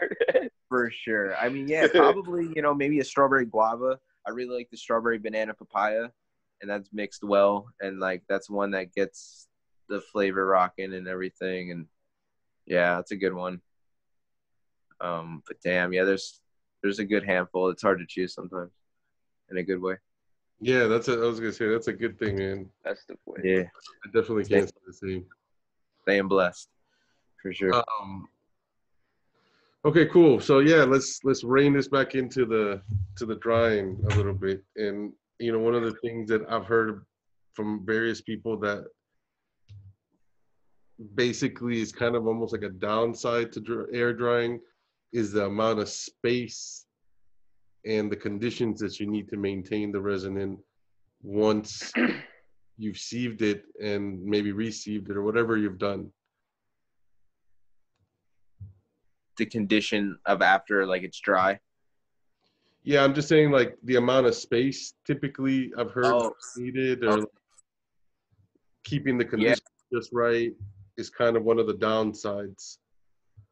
definitely it's definitely hard a lot of people tend to like you know it, it's just running the proper equipment and make sure it's all like up to date too and stuff because you don't want your stuff to fail on you um but the amount of space really is the more space i think the better just because then there's more you know uh room volume or what i'm trying to say like there's not as much to be like you know the moisture to to bounce with to balance with to go back into the air with. So um it's oh my damn my damn dog stop.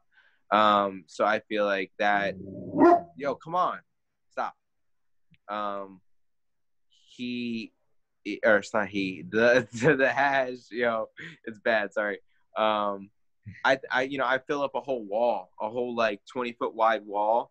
Um i have like two shelves on and i put you know i do it in the pizza boxes and i put parchment paper down and line it like that um so that also like adds a little space. I try to like you know so i could stack boxes and stuff. Um you got yeah kind of think i seen Frenchy kind of do it like on parchment paper but on the shelf that Yeah. like you know has like the the metal shelf that's kind of open and exposed and i just didn't feel safe and kind of comfortable doing that like i don't know like a lot of people are just different and of Yeah, course I, and I i have drop hash on the ground. I've never done that, but I feel like I drop hash on the ground doing stuff like for that. For sure i mean that's how i feel too and yeah, so it i always looked, feel like it looked like it would be well. It would do well for space and you know for stuff like Mm. that, especially if you're washing in the same room you're drying in. Like Yeah.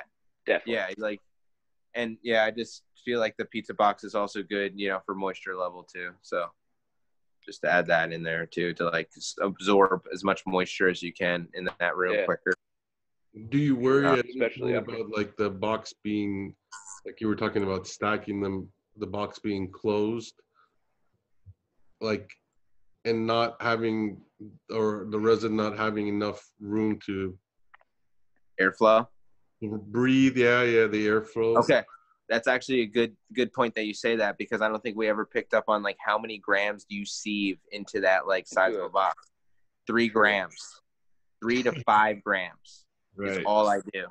So like it's a very little bit, and like I've seen a lot of people overdo it, and you know when you're going like a lot, it's you're ruining it. You're ruining it right there and then there. You want to go a very little bit and just dust it.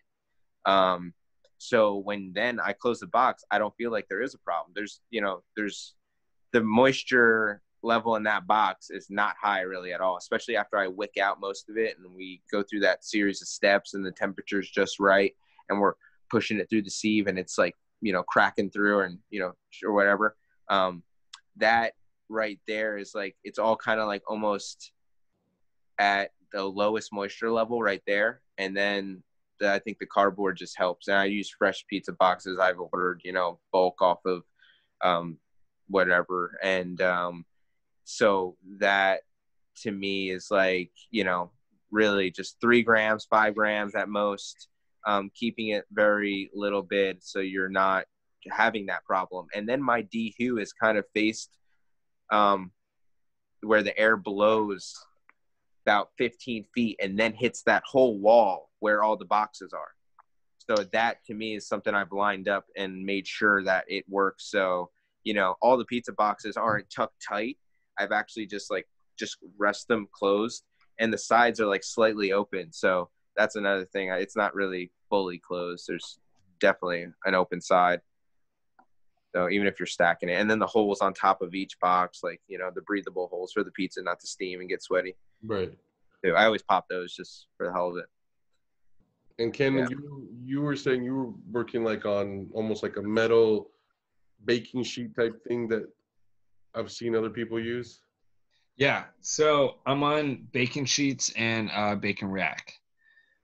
Um, but I'm I'm in a pretty small room. Um, the room is pretty small, and we fit two baking racks in there. And pretty much what the objective to do is to have the room dry, you know, including the hash, but the room needs to dry. Um, so if I really dry out my hash like really hard before I start sieving it. And then I continue to break it. That's why I really like breaking it down more as I'm drying. But it's only because of situation. Um I mean it just depends on whatever like system you have at your spot. It's going to be a little bit different and you have to respond to that. And and that's the other thing, you know? So ours is like I wake out the moisture as much as I possibly can. Um, trying not to shock it too much, you know, and then um, break it down. And I put them on sheets with parchment, and um, and then just dry out the room. Just try try to dry out the room and, and leave that room pretty much until it's done. yeah, and then you mentioned earlier three days or two days. Yeah. Was that you? Yeah, it could be three to four days.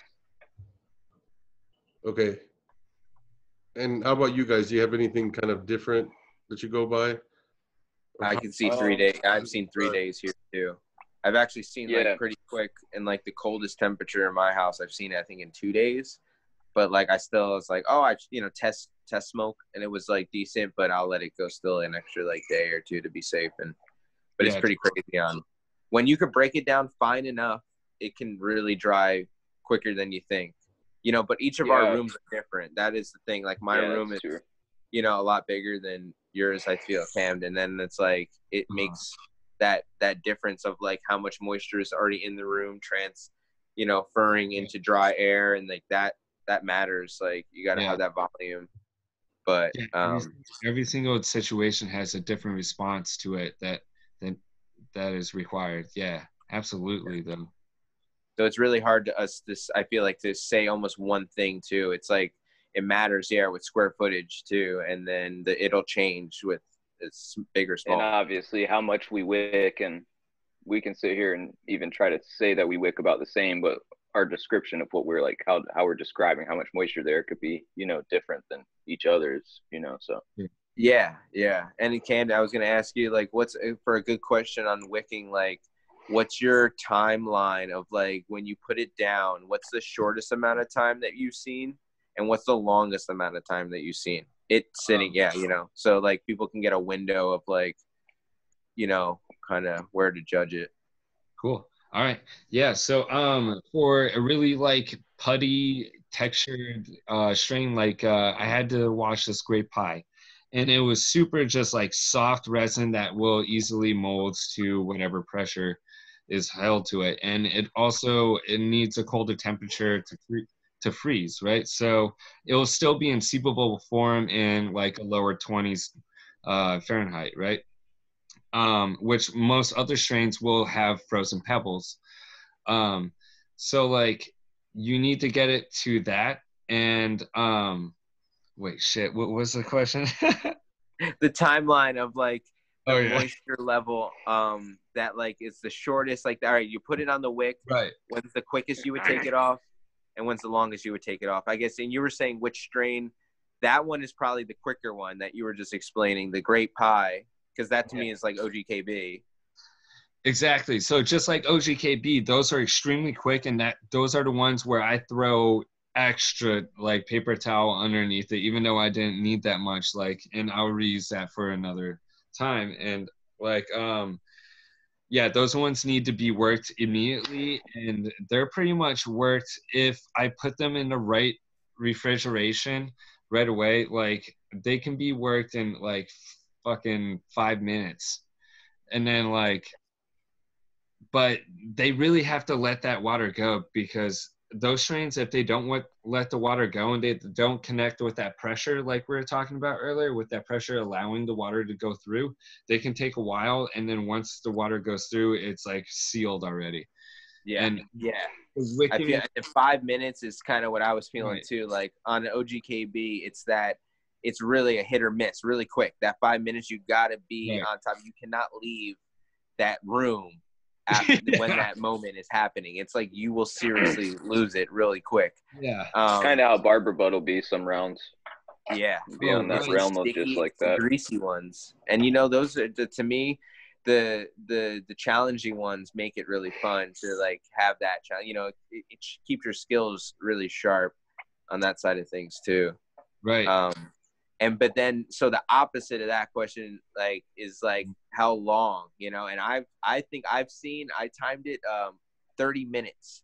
I got some sandy golden strawberries to sit on that wick thing you know on the wick that yeah. yeah for about 30 minutes. And i came back to it and i was like pop you know hit it with the spoon. It just broke like that you know perfect wet sand. Right and i was Yeah. like oh good to go son and it's already dr- practically dried and so it's pretty Yeah. cool. Oh yeah, yeah. See, dude, yeah, I was gonna touch on that when we were talking about it. Even with you're talking about with pizza boxes, I've tried like that as well. And like the wick level and the moisture level at the point that you're putting it into the box to dry is so minimal. Like I could dab Yeah. hash 12 hours later for sure. It's not gonna sizzle. I'm not saying that's not dry, but like, Right. I don't know. The biggest Right. way to do it at that point, I feel like, is you just like can feel it. You can feel like wet hash. I've smoked wet hash because I used to only Right. be able to watch Another so much. way- So I'm like, oh, I want to try this flavor. Like, No, totally, totally. And yeah, like 12 hours, you know, I've said it in 24 hours. I've definitely smoked it and it was fine. But like I give it an extra just, you know, some bigger chunks might fall in there. You want to do the re-sieve at that point. That's where you hit the re-sieve Definitely. button and break those bigger ones down smaller and the smaller ones get smaller and everyone's just like, whoa, even quicker to dry. But that was, you know, uh, another way to tell is take a spoonful of it or whatever, finger press it some parchment paper, hold it up to the light, and you can see some swirls, like the marble, the yeah, cloudiness. still- yeah. You know, yeah. yeah, that's the moisture. And then if you let Yep. that sit out, I, i've let it sit out next to like, you know, the direct TV, like internet box or whatever. And that shit, the radiate, like it just dried it out like two seconds. And the hash then is just like an oil puddle. And it's like, oh, dude, fire. so, yeah. you know that's a great way to kind of just yeah kind of just tell real quick you know take a little sneak peek. Yeah if it sizzles a little really it's only just a, a tiny bit of water. Um it ain't gonna even hurt you. It's like shit. But Right. be aware of that and like test your product then before you you know feel like you're good to jar it. That's you know that's the key. Don't jar it too early um because you'll ruin the whole batch you know That's Oh yeah. or whatever that's yeah huge. so really test it you know and and just know your levels of like you know when you're jarring shit up i guess like you know coming down after you, it's dry? Are you going to be jarring it in like a, a humid room then? Like, are you going to change rooms? Like, I don't know. You know, that's a factor of it too. Um, but yeah, that's good. I'm just glad we answered that question because I'm sure that helps a lot of people. Um, yeah, I used to gauge it kind of like a, I swear, like you could just taste like a vapor, or not taste, but you know, it was just like a hotter breath Yeah. dab from like wet hash. You know, it was Definitely. like uh, it was like you're in a sauna dabbing, but not like you know, not nearly like that, but in the sense of Yeah, yeah, yeah, kind of what it was like. it almost like skips across my tongue like like skipping a rock on the on the water and just like the flavor just you know and then Yeah. and like when it's really cured and when it's really dry and perfect it's like diving into that water and you're just submerged in that overwhelming like dank bold flavor. I like to i always like to kind of explain it as bold because like it just makes a mouthful you know? Like on the good on the good hashes like that that are to me hand dried like gives you more of that bold. It's kind of where i'm going with like the the sharper like tip of the tongue is where i get mostly like a lot of the freeze dried because it seems like it didn't ever see a warmer temperature than you know 30 degrees. So Yeah. it just kind of reacted different. It's never seen yeah. It's kind of different. What is your what are you guys' opinions if you if you remember it all like back uh, with water hash when I I saw it from Matt Rize I'm pretty sure. I'm not sure if he's like the guy that popularized it but like cold curing hash like just basically like jarring up your water hash this is before rosin I think. So like just basically dabbing water hash but waiting two weeks of refrigerating it before smoking it and he said it would bring out more of the flavor Yeah. and like I- I, don't know if that's like placebo because like you're like hiding a jar of hash from yourself to not smoke it for two fucking weeks or like minimally smoke it. And so well it's here's like the thing i yeah no i feel you and then how to really figure that one out is jar 20 different you know of the same jars of hash and open each one every month and really indulge and know Gotcha, whether or yeah. not it's changing. And that's what I have done. And I have definitely seen ups and downs like a roller coaster on all different genetics. Like it's all strain dependent. Some do get better, some get worse. Some have like a like a, a good peak and then like I've seen a year, you know, I've left the jar sitting in my freezer negative 20 degrees for a year and you wouldn't think it changed.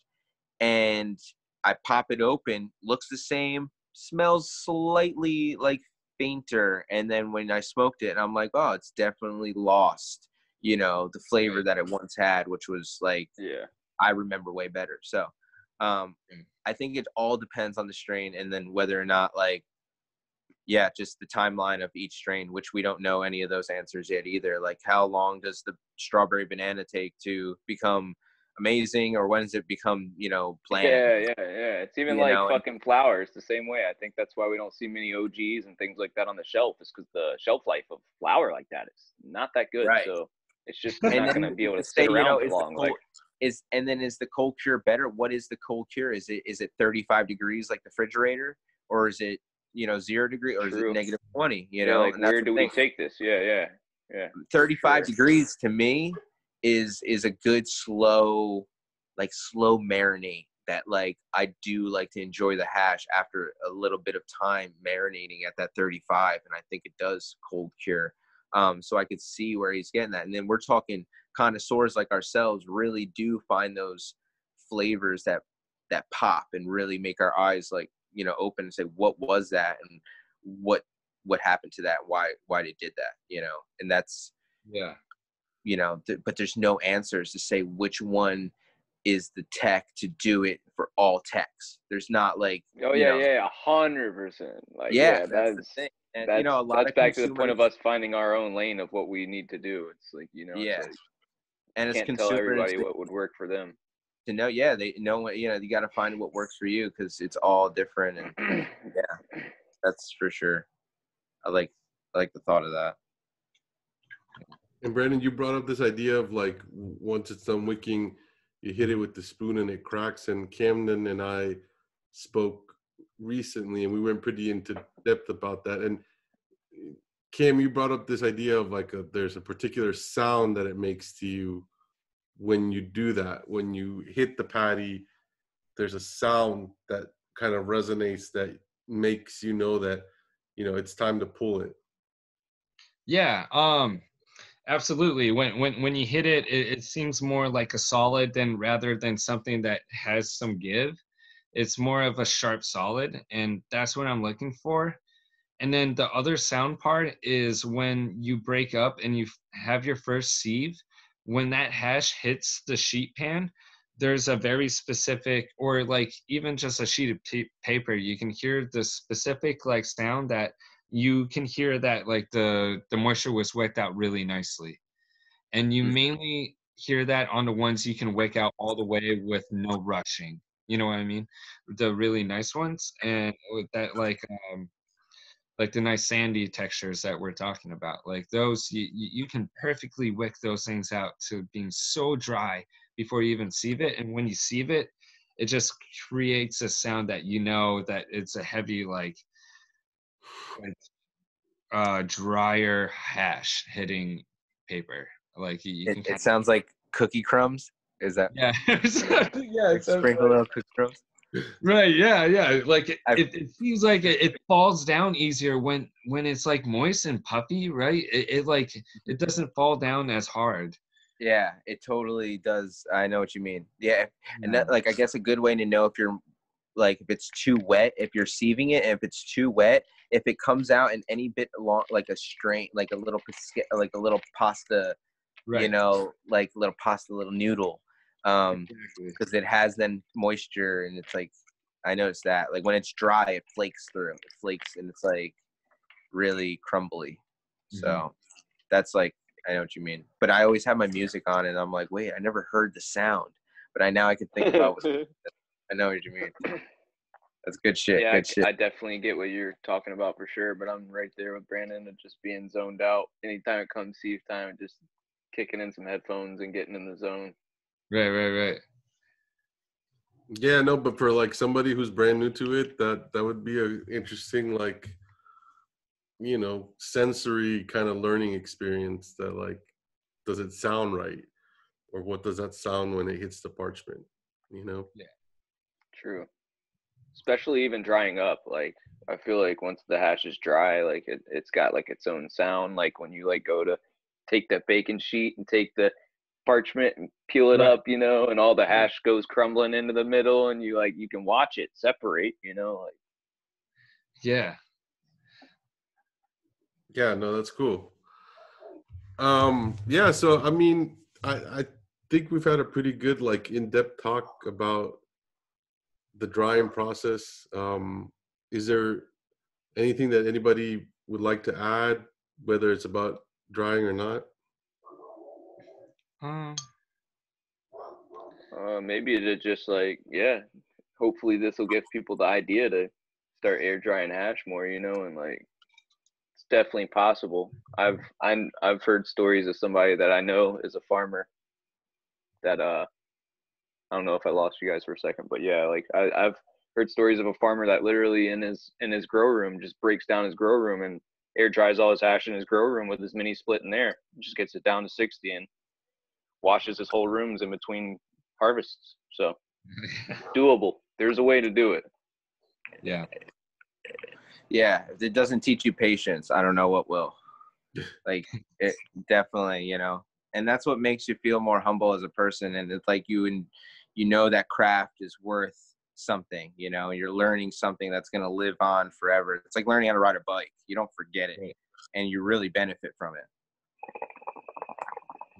Yeah, I think having that experience with the resin, uh, even though I don't have it, sounds like just gives you this good like base knowledge.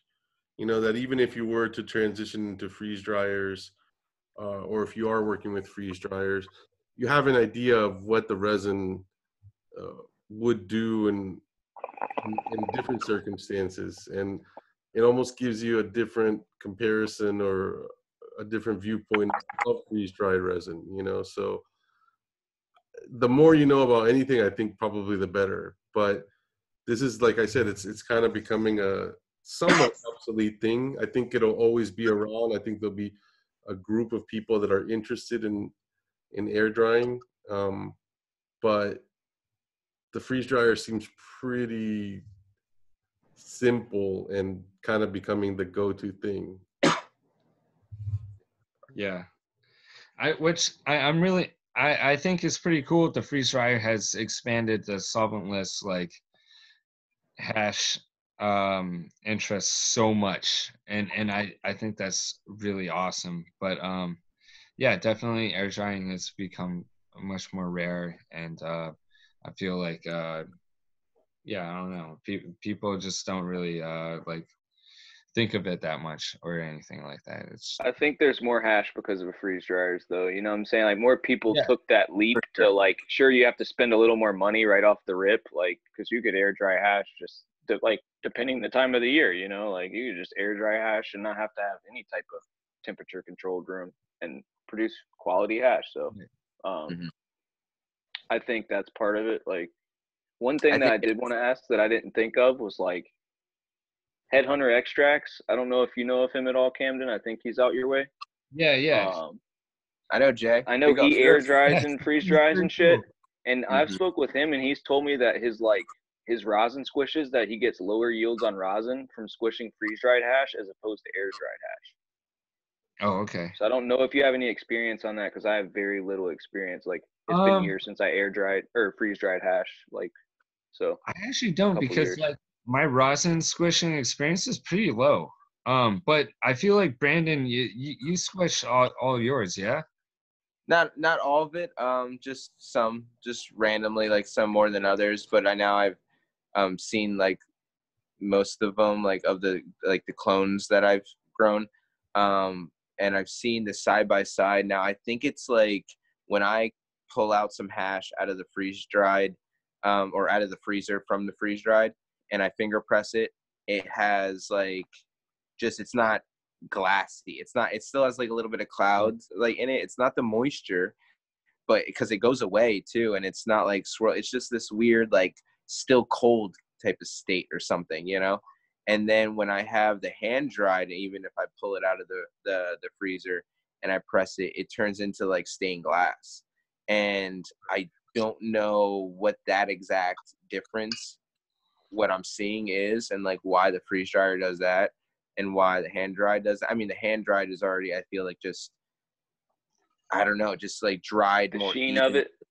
Yeah, like I mean yeah. if you think about like the cake, the layer of you know chunk of hash in the freeze dryer is like a patty. And the patty now is getting like dried from the top through it, you know, it's like the top is going to be more dry than the bottom. It just always seems like that's how it has to be Yeah. um, you know um, so i feel like it's just something that's you know really hard to say in that sense but i do think when you're squishing then the hand dried yeah like whatever that difference is it's not in the way so then the hand dried would, would spit um, i've only pressed a hand dried like a few times and very little bit of it because i, cher- I cherish it so much um, but yeah, I mean Jay. Yeah, D- Jay would probably have the most knowledge because of how much he put pumps out for you know the the market. Yeah, So- yeah, yeah. That's that's just what he spoke with me on about it, and I was just I was just curious, like at that point, like is the labor worth the extra rosin in it? Because if the rosin is no different, but you're just getting slightly different True. yields, is it like is it worth the labor to squish it, or like, or Yeah. to to air dry it to squish it, or you know? So Hard to say, and it's really then just it all didn't know if you'd ever farm. done that, but I assumed you know it was like you're probably air drying small scale and just air drying like the hash that you want to puff on, like how it is. So it's like. Yeah, honestly, yeah, that's more or less what I do because of just consumers not understanding, you know, the little bit, you know, off white. Uh, it's either amber Oh or yeah, yeah, yeah, yeah.